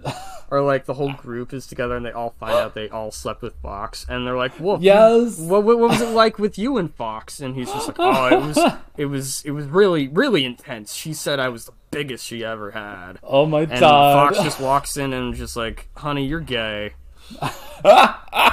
Something like that. I don't know. I just love shit like that. This is a beautiful scene that we've we've put together now. Yes. Oh god. Oh There's so much. So much. Um, also, a big part of why I love Wolf as a character because I can just constantly theorize all the all the possible you know scenarios of him Mm-hmm. coming to terms with his own sexuality and humorous dumb meathead ways. Mm-hmm. Yes. Um. Okay. So so what's the next topic? The horniest moment in the sh- Yeah, in the horniest episode. moment. Um, I have a couple to- contenders. but I have multiple. I, yeah, we both do. Okay, I'll do mine first. Um, I feel like when Goliath first woke up, there was a really good flexing scene with him. Yes. Yes. Um, and there was good. another really good flexing scene where he like punched through the uh, the trash compactor, where, where he looked super ripped. Yes. Um, Goliath looked really good this whole episode. he did. He, his boogles looked mighty um supple, I might say. um like just looking through my screen caps that I took, I there's like at least five moments where Goliath just flexed for no reason. He looked really good in all of them. Um a lot of good dingo moments. Yes. Um Name some. let's see. Oh, you're putting me on the spot. Yes, I want to specify the moments. I mean, we see him. He Okay, the part where he abs at one punches his abs for no Yeah. reason. And he's called. I love that when muscular dudes. but just, it's like, punch a their own close abs, up they're on like, his "Oh." body though. Like, yeah, but it's like muscular dudes are just like, oh, I'm getting so flabby and like out of shape, and it's just like they're just perfectly muscled. I know it's like a totally solid midsection. Um, like he was throwing boomerangs a lot, and like every time he did that, he sort of like twisted his body so you get a shot of his butt.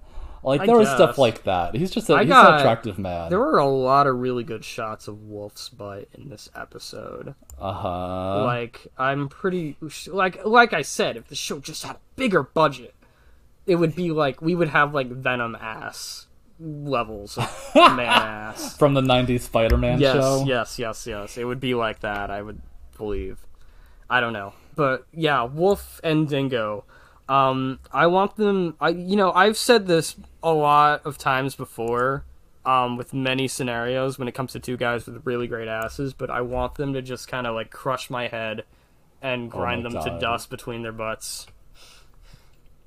And I feel like Wolf might refuse, but Dingo would be like, "Hey, if you pay, then I'll do whatever you want." And eventually, he might be able to convince Wolf into doing that too. He'd be like, "No, mate, No, it's he real. would. it's real manly second, to do it." The second Dingo offers, he's just like, I could do it better. Yeah, I, I can crush I can crush walnut walnuts with these cheats. I'll Oh my- show you. I'll show so- you all. This is so fucking hot right now. Oh my god.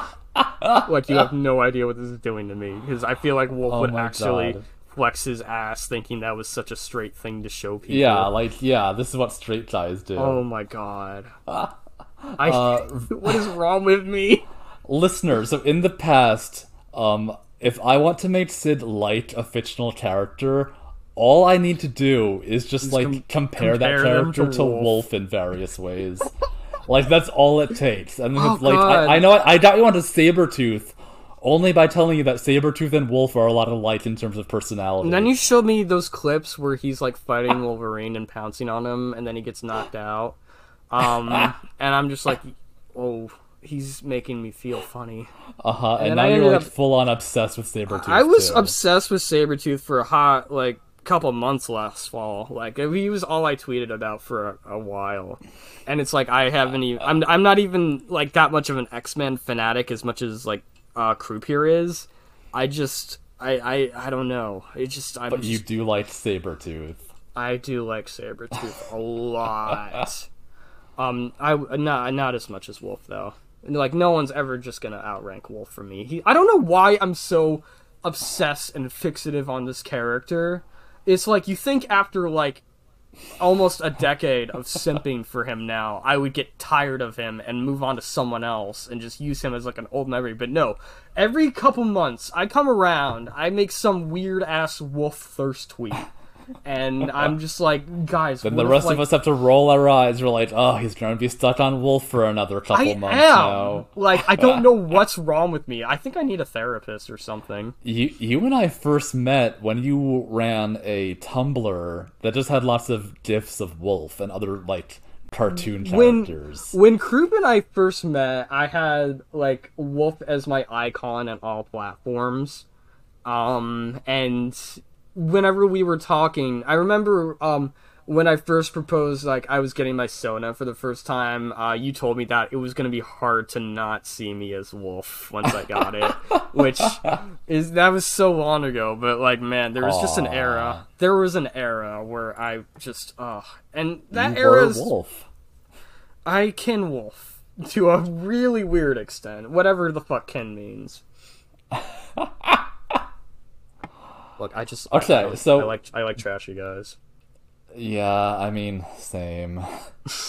but okay, so there's been there's been a multitude of hot moments in this. Yeah, this, we this is probably the hottest episode of all. But okay, but what is the hottest moment of all in this episode? We have to pick just one. Oh god, I actually can't decide. Um, there's several. Obviously, mine's gonna be wolf related. Um, Obviously, there's him lifting weights and getting all sweaty at the beginning and getting angry for no reason. That was horny. Um, there's him. All the shots of his butt and his groin. Oh my god!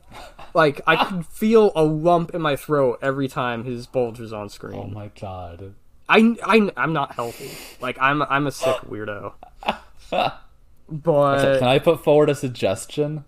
oh no, Okay, well, no, it's it's just about the episode. My horniest moment, I feel like, is when Wolf grabbed Lexington and was like squeezing him. that was and a Lex was good all moment. stormy.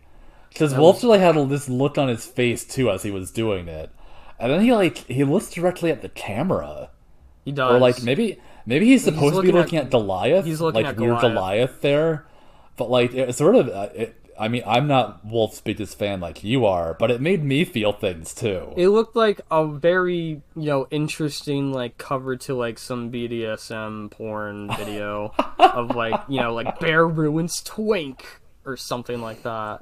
oh my god. I don't know. that's gonna be that's gonna be the thumbnail for this episode, you know. Like that is like, that's a good shot. I'm looking at the screen cap and like it's all I can see now. Oh my god. Oh my god, because he's looking right at the camera, and Wolf does kind of look like, you know, a lot of those default like, um, you know, oh, hot stepfather ruins stepson's hole or something like oh my that. god. Okay, but okay, so that's that's my vote for hottest moment. Is that part? Okay, um, uh, oh god, I don't know. But like that... this episode, okay, this episode had Goliath, Dingo, and Wolf in it. All This of them were so looking hot. hot. Like every fucking shot they're in. This is like other episodes. You've been like there was nothing hot that even happened here, but this episode there's like the whole thing was hot. We're we're so indecisive right now about what was the hottest moment. Um, I the think show gave us too much hotness. I really like the scene um, where he's lifting weights. I really like the scene where he's fighting Goliath and gets knocked out. You know, what? I might go for that honestly, where he just What, getting to... knocked out in the trash? No, like just like the whole power dynamic when he tries to punch Goliath and Goliath acts like he's a little bitch and just catches his fist. Oh, and catches and fist. horrified. Yeah, like I I thought liked that was that pretty. too. I thought that was pretty corny. Um, but like Hmm. horniest animators, I feel like if you're animating a dude lifting weights and sweating, that's pretty horny. But I don't know. I, I'm I feel like that too. Okay, so we have we have many many moments. Listeners, you should send in what you thought the real horny moment was, and uh, and tell us how we're dumbasses that we didn't list it where we should have. Um, I guess for me it'd have to be a tie between the fight with Goliath and Wolf and Wolf lifting weights. I could easily jerk off to both those scenes. No oh problem. Well, you can do it after we're done recording. No, I'm gonna do it right now. You can't stop me. No. I did it. Okay. Um. Um, okay. we have we have we have multiple emails to read, guys. I'm so happy we're getting emails. We are. Um, yes. No. Okay, We let did. me let me do Remy's first. Um, Okay.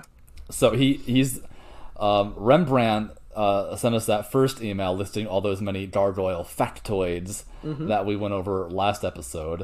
Um, Mm, so he he writes in the den. He says, "Hey there, Syd and Manitorn. Thanks for another fantastic episode of the Loincloth Hour." I'm currently suffering the heavy blow of side effects from the second dose of the vaccine. Oh, no. Just totally got wrecked by them. So your podcast was a very bright spot on my Saturday evening. and made me smile. Oh, well, your email right now is making me smile. Um, he says, I love your takes on everything in the episode, from the action to the humor to the dramatic moments, and yup, even the horny bits. To which I agree, the Hudson parts were definitely the horniest of this last episode. Yes. I'm personally very partial Hudson myself. He's a big favorite, so I enjoy the attention and praise you guys heap on him. And of course, the part about my, my previous email has me aplu- blah, absolutely giddy. I loved your reactions. um, to answer your question as to where I got all that juicy info, um, I previously went over all this earlier in this episode, but I'll just regurgitate Yeah, it. yeah, yeah, yeah. Um, it happened at a convention, specifically at Convergence 2014, where Greg Weisman held a special After Dark panel for adults only, where he'd answer questions by those attending, questions that, of course, he couldn't answer during a normal panel. Um, parts of those Hmm. revelations, such as Fox's confirmed bisexuality, have been properly posted in the official Gargoyles wiki. Um, I don't know if it's the same one you guys are use or not, but if not, you should switch to this one. Um, he lists it. It's Garg wiki, uh, which I do use. That is my preferred wiki as well. So thank I you, just Remy. I usually look at whatever comes up in the search results, but I do like the Garg Wiki better. Um, he does say it's it's a great and very informative wiki with lots of stuff the show It never is. revealed, um, and even a full on timeline of events down to like specific dates. Yes. Um, yes. Which yes, that that wiki is it's very helpful. I, I usually look up the episode we're covering in that wiki like before we record. Um, that's write out some of the info like where uh like those two fucking kids and their parents like where where they also appear because Oh I knew my I. I knew they did appear other places. I just didn't remember like exactly where. um, so yes, um, that's all for now. Uh, blah, blah, blah. Thank you again for a great episode. I'm very much looking forward to the next one. Well, I hope you enjoyed this episode, Remy, because you are helping us make Yes. this podcast even better than it was before. yes. Uh, let the, uh, Brilliant. We we have three emails. So the next one is by uh, Heron, who Yes. others might know as he's actually my boyfriend who I live with. So he sent Mm-hmm. in a question. Um, he says, "So now that we've gotten Wolf's actual introduction, I want to know who would win in a fight, Hakon or Wolf." See, that's interesting. Um, I think I did see that email when we got it, and Uh-huh. it left me wondering. That does kind of, sort of happen in not really, but they they do team. Like that's a spoiler, I guess. But there is an episode where they team up and try to fight Goliath the whole episode. They do. That's way Yeah. down the line. That is like That near the happen. end of season two. I mean, the near the end of the show because there's Do no the two of them three. fight each other in that episode too? There's like a they, they they don't get along, but they don't like directly fight each other. I feel like they don't get along because they're too similar to each other. They're There's- both fucking stupid. They are. Um, there's one point where Hakon is just like, "How you could be descended from me, I could never understand." Uh huh. And And like, Wolf is like, "Fuck off, old man." yeah, like Probably. that- that's literally what he's like. Um, Hakon even possesses Wolf at one point and like Wow. flexes in his body. So he like enters Wolf. Yeah, that's not the first time he's had a man inside him. um, no, but who would win in a fight? See, Hakon is um he's a medieval Viking and he's conquered, I guess, you know, like small castles and villages, I, I suppose in his history of being a Viking, he was a leader of a whole Viking group. Wolf is just a really gay, flashy furry who's obsessed with muscles and being the bigger man. However, his God. mutations his mutations do give him a slight advantage. Um Yeah. sup- see, this email didn't specify if this was like pre-mutate Wolf or post-mutate. or pre Which spoilers, or people. Wolf becomes a furry eventually. he does become a furry. Or pre Ghost Hakon or post Ghost Hakon when he has powers and shit. Right. Okay. Well, let's let's say they're both living, and they're just like normal humans. They're both alive. I mean, I feel like and they have like a wrestling match, and they're just like in really tight singlets that show off their chest. You evil Oh no. Oh no. okay, okay. Uh train of thought. So, um if it, just Hakon is a Viking and Wolf pre-mutate, I feel like Hakon would win because Wolf is just a really um, full of himself mercenary, and Hakon actually has experience pillaging, I guess. Um, Do you feel like because Wolf is Hakon's descendant, that Haton would be moved to just like pin Wolf like across his knee and teach him like a real like good old fashioned lesson on like who's really in charge? Like via spanking, I mean. Can you feed my spanking fetish and just say that that's what would happen? Um, I think what's really beautiful, Like just peel the that- singlet down and like apply some some hand to ass until Wolf has to cry uncle or or daddy as the case may be. I mean, there is a lot um of contenders. If we're going for like human wolf being spanked, um, you would definitely see his ass turn pink pretty fucking quickly. Just there's a lot of guys who want to spank Wolf. There is, there is. Um, and, and yes, uh, Hakon, I could absolutely see throwing Wolf over his knee and giving, you know, his his uh rum- The rebellious. big man. Yes. Yes, his his rebellious, fully grown man, child, descendant, just the spanking of a lifetime. Um, but okay, so in terms of um, pre- mutate Wolf and Ghost Hakon, um, I feel like mutate Wolf would win. Well, well, okay, well, can Ghost Hakon even do anything? Like he's a ghost. He possesses like an axe and fights Hudson, and then the axe gets like thrown into like a fucking like I forget like a trash compactor, and Hakon's ghost like fades away. Okay, does the axe like I don't really I don't even remember this episode. The axe well. Does makes, the, like, does the axe wolf- like float around and like attack people? Like The what does he do with the axe? floats around at some points. Wolf is almost like he falls into like the ocean at one point from the docks, and the axe pulls Wolf out of the water and flies him away. So it's like uh, it's like Thor's hammer. He God, flies with it. you know, I'm dreading coming to that episode, but I'm also like simultaneously like, oh, that's like the only Wolf solo episode though. okay, well the pace we've been going at, it'll be like years before we even get Yeah, there. that's true, So that's I'm true. not worried. Um, that's also Wolf's final appearance in the series. no. He's not in season three, which is another Well, reason why I hate it. It won't be the final in our ongoing fan fiction, which we will write. Oh no, Wolf is just gonna he's just gonna go on really gay hijinks forever. He probably gets a career as like a gay porn star after the show. Like Dingo. Yeah, like Dingo sets him up. He's like, "Oh, I know a studio. Okay, yeah, it's my so- cod. so, this is my um, terrible Australian accent. Yeah, no. So, um, in the end, I think he's. I said who would win against who. Um, Human Hakon would beat Human Wolf, but Mutate ha- Wolf would beat um Hakon pre. Yeah, just all he has to do is just like put the axe like in the garbage or something, and he's like, "I won." even before he's like a ghost. Like if Hakon were just like Hakon were just a regular Viking, um, Okay. Wolf would mutate. Wolf would beat him up. I imagine. yeah, he'd be, because he, he'd has- be he the superhuman abilities.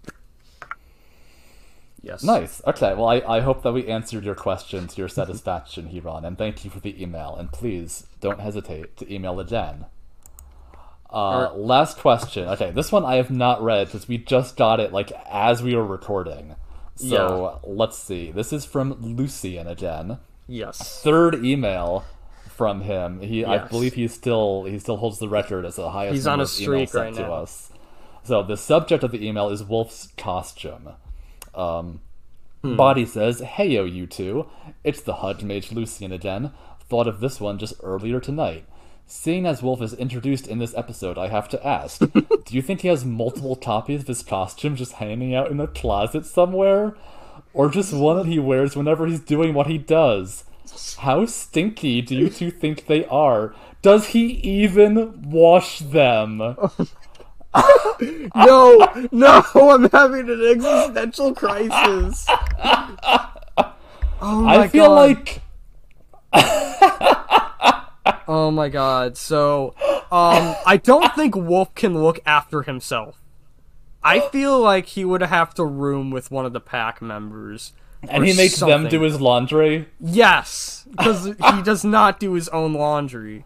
Like, Uh, like I'm picturing him and Dingo as roommates right now, and Dingo just has like picked up his fucking sweaty jock straps all the time, and he's just like, "Geez, Wolf, did you clean up after yourself once in a while?" And Wolf's And- like, "Whatever. I know you jerk off when you sniff it when I'm not around." Wolf's just like picking like I can imagine Wolf just off to the side, like um like lifting weights or something. He's got a toothpick in his mouth. He's just he's just saying that.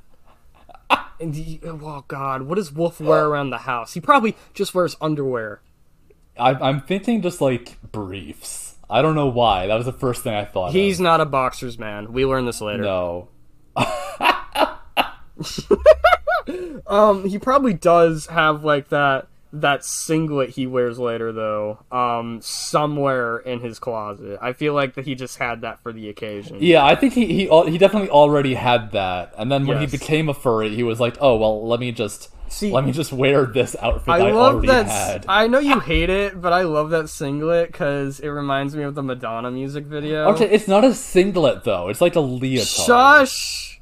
And it's it a thigh. It's a thighless singlet. It looks bad though. Yeah, he Wolf is look. He, he can't even do his own laundry. You expect Wolf to come up with his own outfit designs on the spot? Look, he's got a what- giant the- like wolf on his chest constantly. This is the real reason he had to join the pack because he can't Wolf. dress He has a himself. wolf on his chest, and his real name is Rolf, which translates to wolf. He's an idiot. He's just obsessed with wolves, and he wants to be one, and He's then he became furry. one later on. I'm like crying right now for some reason because Oh I'm just God. thinking about this. Like I, I feel like when it became time for the pack to like all get their cool outfits for the show, like he's the one who insisted that a giant wolf face be on his outfit, like on the chest wears piece. that the entire show. Like you never I see. know. No, actually, we do. No, no, he doesn't. Not in prison. Not in prison, baby. Uh huh. Which let- I can't wait it. till we get to his prison That's episode. his hottest appearance. is- I know. I oh agree my with god. you. Oh my I god. I can't wait till that's in season two, like really early on. I can't wait till we I think it's like it. one of the first, if not the first episode of season two. I I think it's it, it, it's either the first or the second. I don't remember. It's it's very early, but yes. Yeah. Um. So long story short, um, I don't know if he has multiple copies of his outfit. Uh, probably, maybe it's all he wears. Maybe he just has the one copy and that's all he wears, and he has to wash it all the time, and he's just like not wearing anything rest of the yeah, time. so like Dingo just has to be used to him just being naked in in their their living quarters like all the time whenever it's laundry day. God, I feel so bad for Dingo. like, Uh, like Dingo gets repaid in various ways. uh, could you imagine me just like genuinely just me as Wolf's roommate though? No, I can't. What would that be like? Who would you It would be just be you like you would just be pressed into his armpit like twenty four seven, and he would never leave it. Oh my god! Like he'd try to leave the house to go to his job, and he'd still be there, and he'd be like, "Get off, kid." See, I love it. I, I, I like the idea now that I think of it because it's like Wolf is the kind of person always seeking like affection, and I know in my mind that if I show like affection, I show that I'm like secretly obsessed with him. He would be s- repulsed by me, so I would have to constantly pull off this display of brattiness in my day to day life Oh my god. just to appease him and just to make him interested in me. So as I'm just like screaming to get out of his pit, I'm just like secretly like, "Oh my god!" Because he needs to feel like he's like conquering someone at all Yeah, times. exactly, exactly. Okay, so that was a mouthful. Okay. Um. In summary, Lucian, thank you for this email. Um, I think Wolf would be stinky. He, he's very, very stinky. Yes. He doesn't even ah. wear fucking like sweat bracelets or anything when he works out. He just works out in his like fucking spandex and his wolf costume. The goddamn like a goddamn idiot. He's stupid. He's so stupid. He, he can't I, I think that's why himself. Fox hired him. She was like, "I need the stupidest man alive." I need Bring someone wolf. so stupid that he makes me look smarter. Also, okay, like the packs, they all have like animal themed names, but these are the only names they ever go by too. Like these Yeah. are these are their actual names that they had before being put into like the TV show. Yeah. Let's just go out and be like, I need animal themed people. Like, just bring me what you have. Just putting out an ad for animal people. Yeah, like- it's just a like, do you have a do you are is your name animal themed? Join my TV show. That's so great. I love that. Oh god, I don't know. There's I a the lot. pack. I love the pack so much. I hate Oh, that they God. get sent to prison, but I don't think they'll last there. You know, they they won't be there for long. I don't think When you said they won't last there, I'm like, oh my god, what happens to them in prison? they get shanked. No. No, they're fine. Everyone's They- fine. they try to shank Wolf, but they miss and they hit him in the butt cheek. I do feel like Wolf has lots of shower sex because he has to assert his dominance on all the other Wolf- guys. Definitely. No, Like- it's like he comes back from like the the showers and he's still stinky for some reason. Like he smells like man sweat. And they're just like, "Do you know how to take a shower properly?" He's like, "Properly than most guys." He just like sits back all cockily. He's probably like he probably refuses to use soap because he's worried that he like he might ever drop it. So he, he makes everyone else drop the soap around him so that he It's- can fuck them. It's an interesting unexplored dynamic there of just a gay, a closeted gay man just like dealing with prison. Mm-hmm. Yeah. I Yeah. mean, when we get to that episode, I I'm sure we'll think of many things to say about Okay. that. Okay. Um, is there anything more that should Um, be said or addressed? I don't think so. Those are all the emails. Uh, We did Uh-huh. all our little sections. Yes. Uh, yeah, I guess I guess we can just close it. I can't think of anything else to say right now. We could talk about this kind of shit for hours. Is the problem? I know, but we already have been. Um. Oh, one more thing we should say. Um, is next time we will be recording an episode for the loincloth hour. Um, I will likely be in the same room as Croup. That's right. Syd's coming for a visit. I am. I'm gonna live with Croup and his boyfriend for two weeks, and I'm just gonna have to deal with my my stinky my stinky butt. Yeah. Well, I mean, I think you do laundry more often than Wolf does, so you'll probably be fine. Probably. I sweat. I sweat just should- as much. Yeah, bro. Let's yeah. do it. Like yeah. tubular. oh, radical. I'm gonna close it there.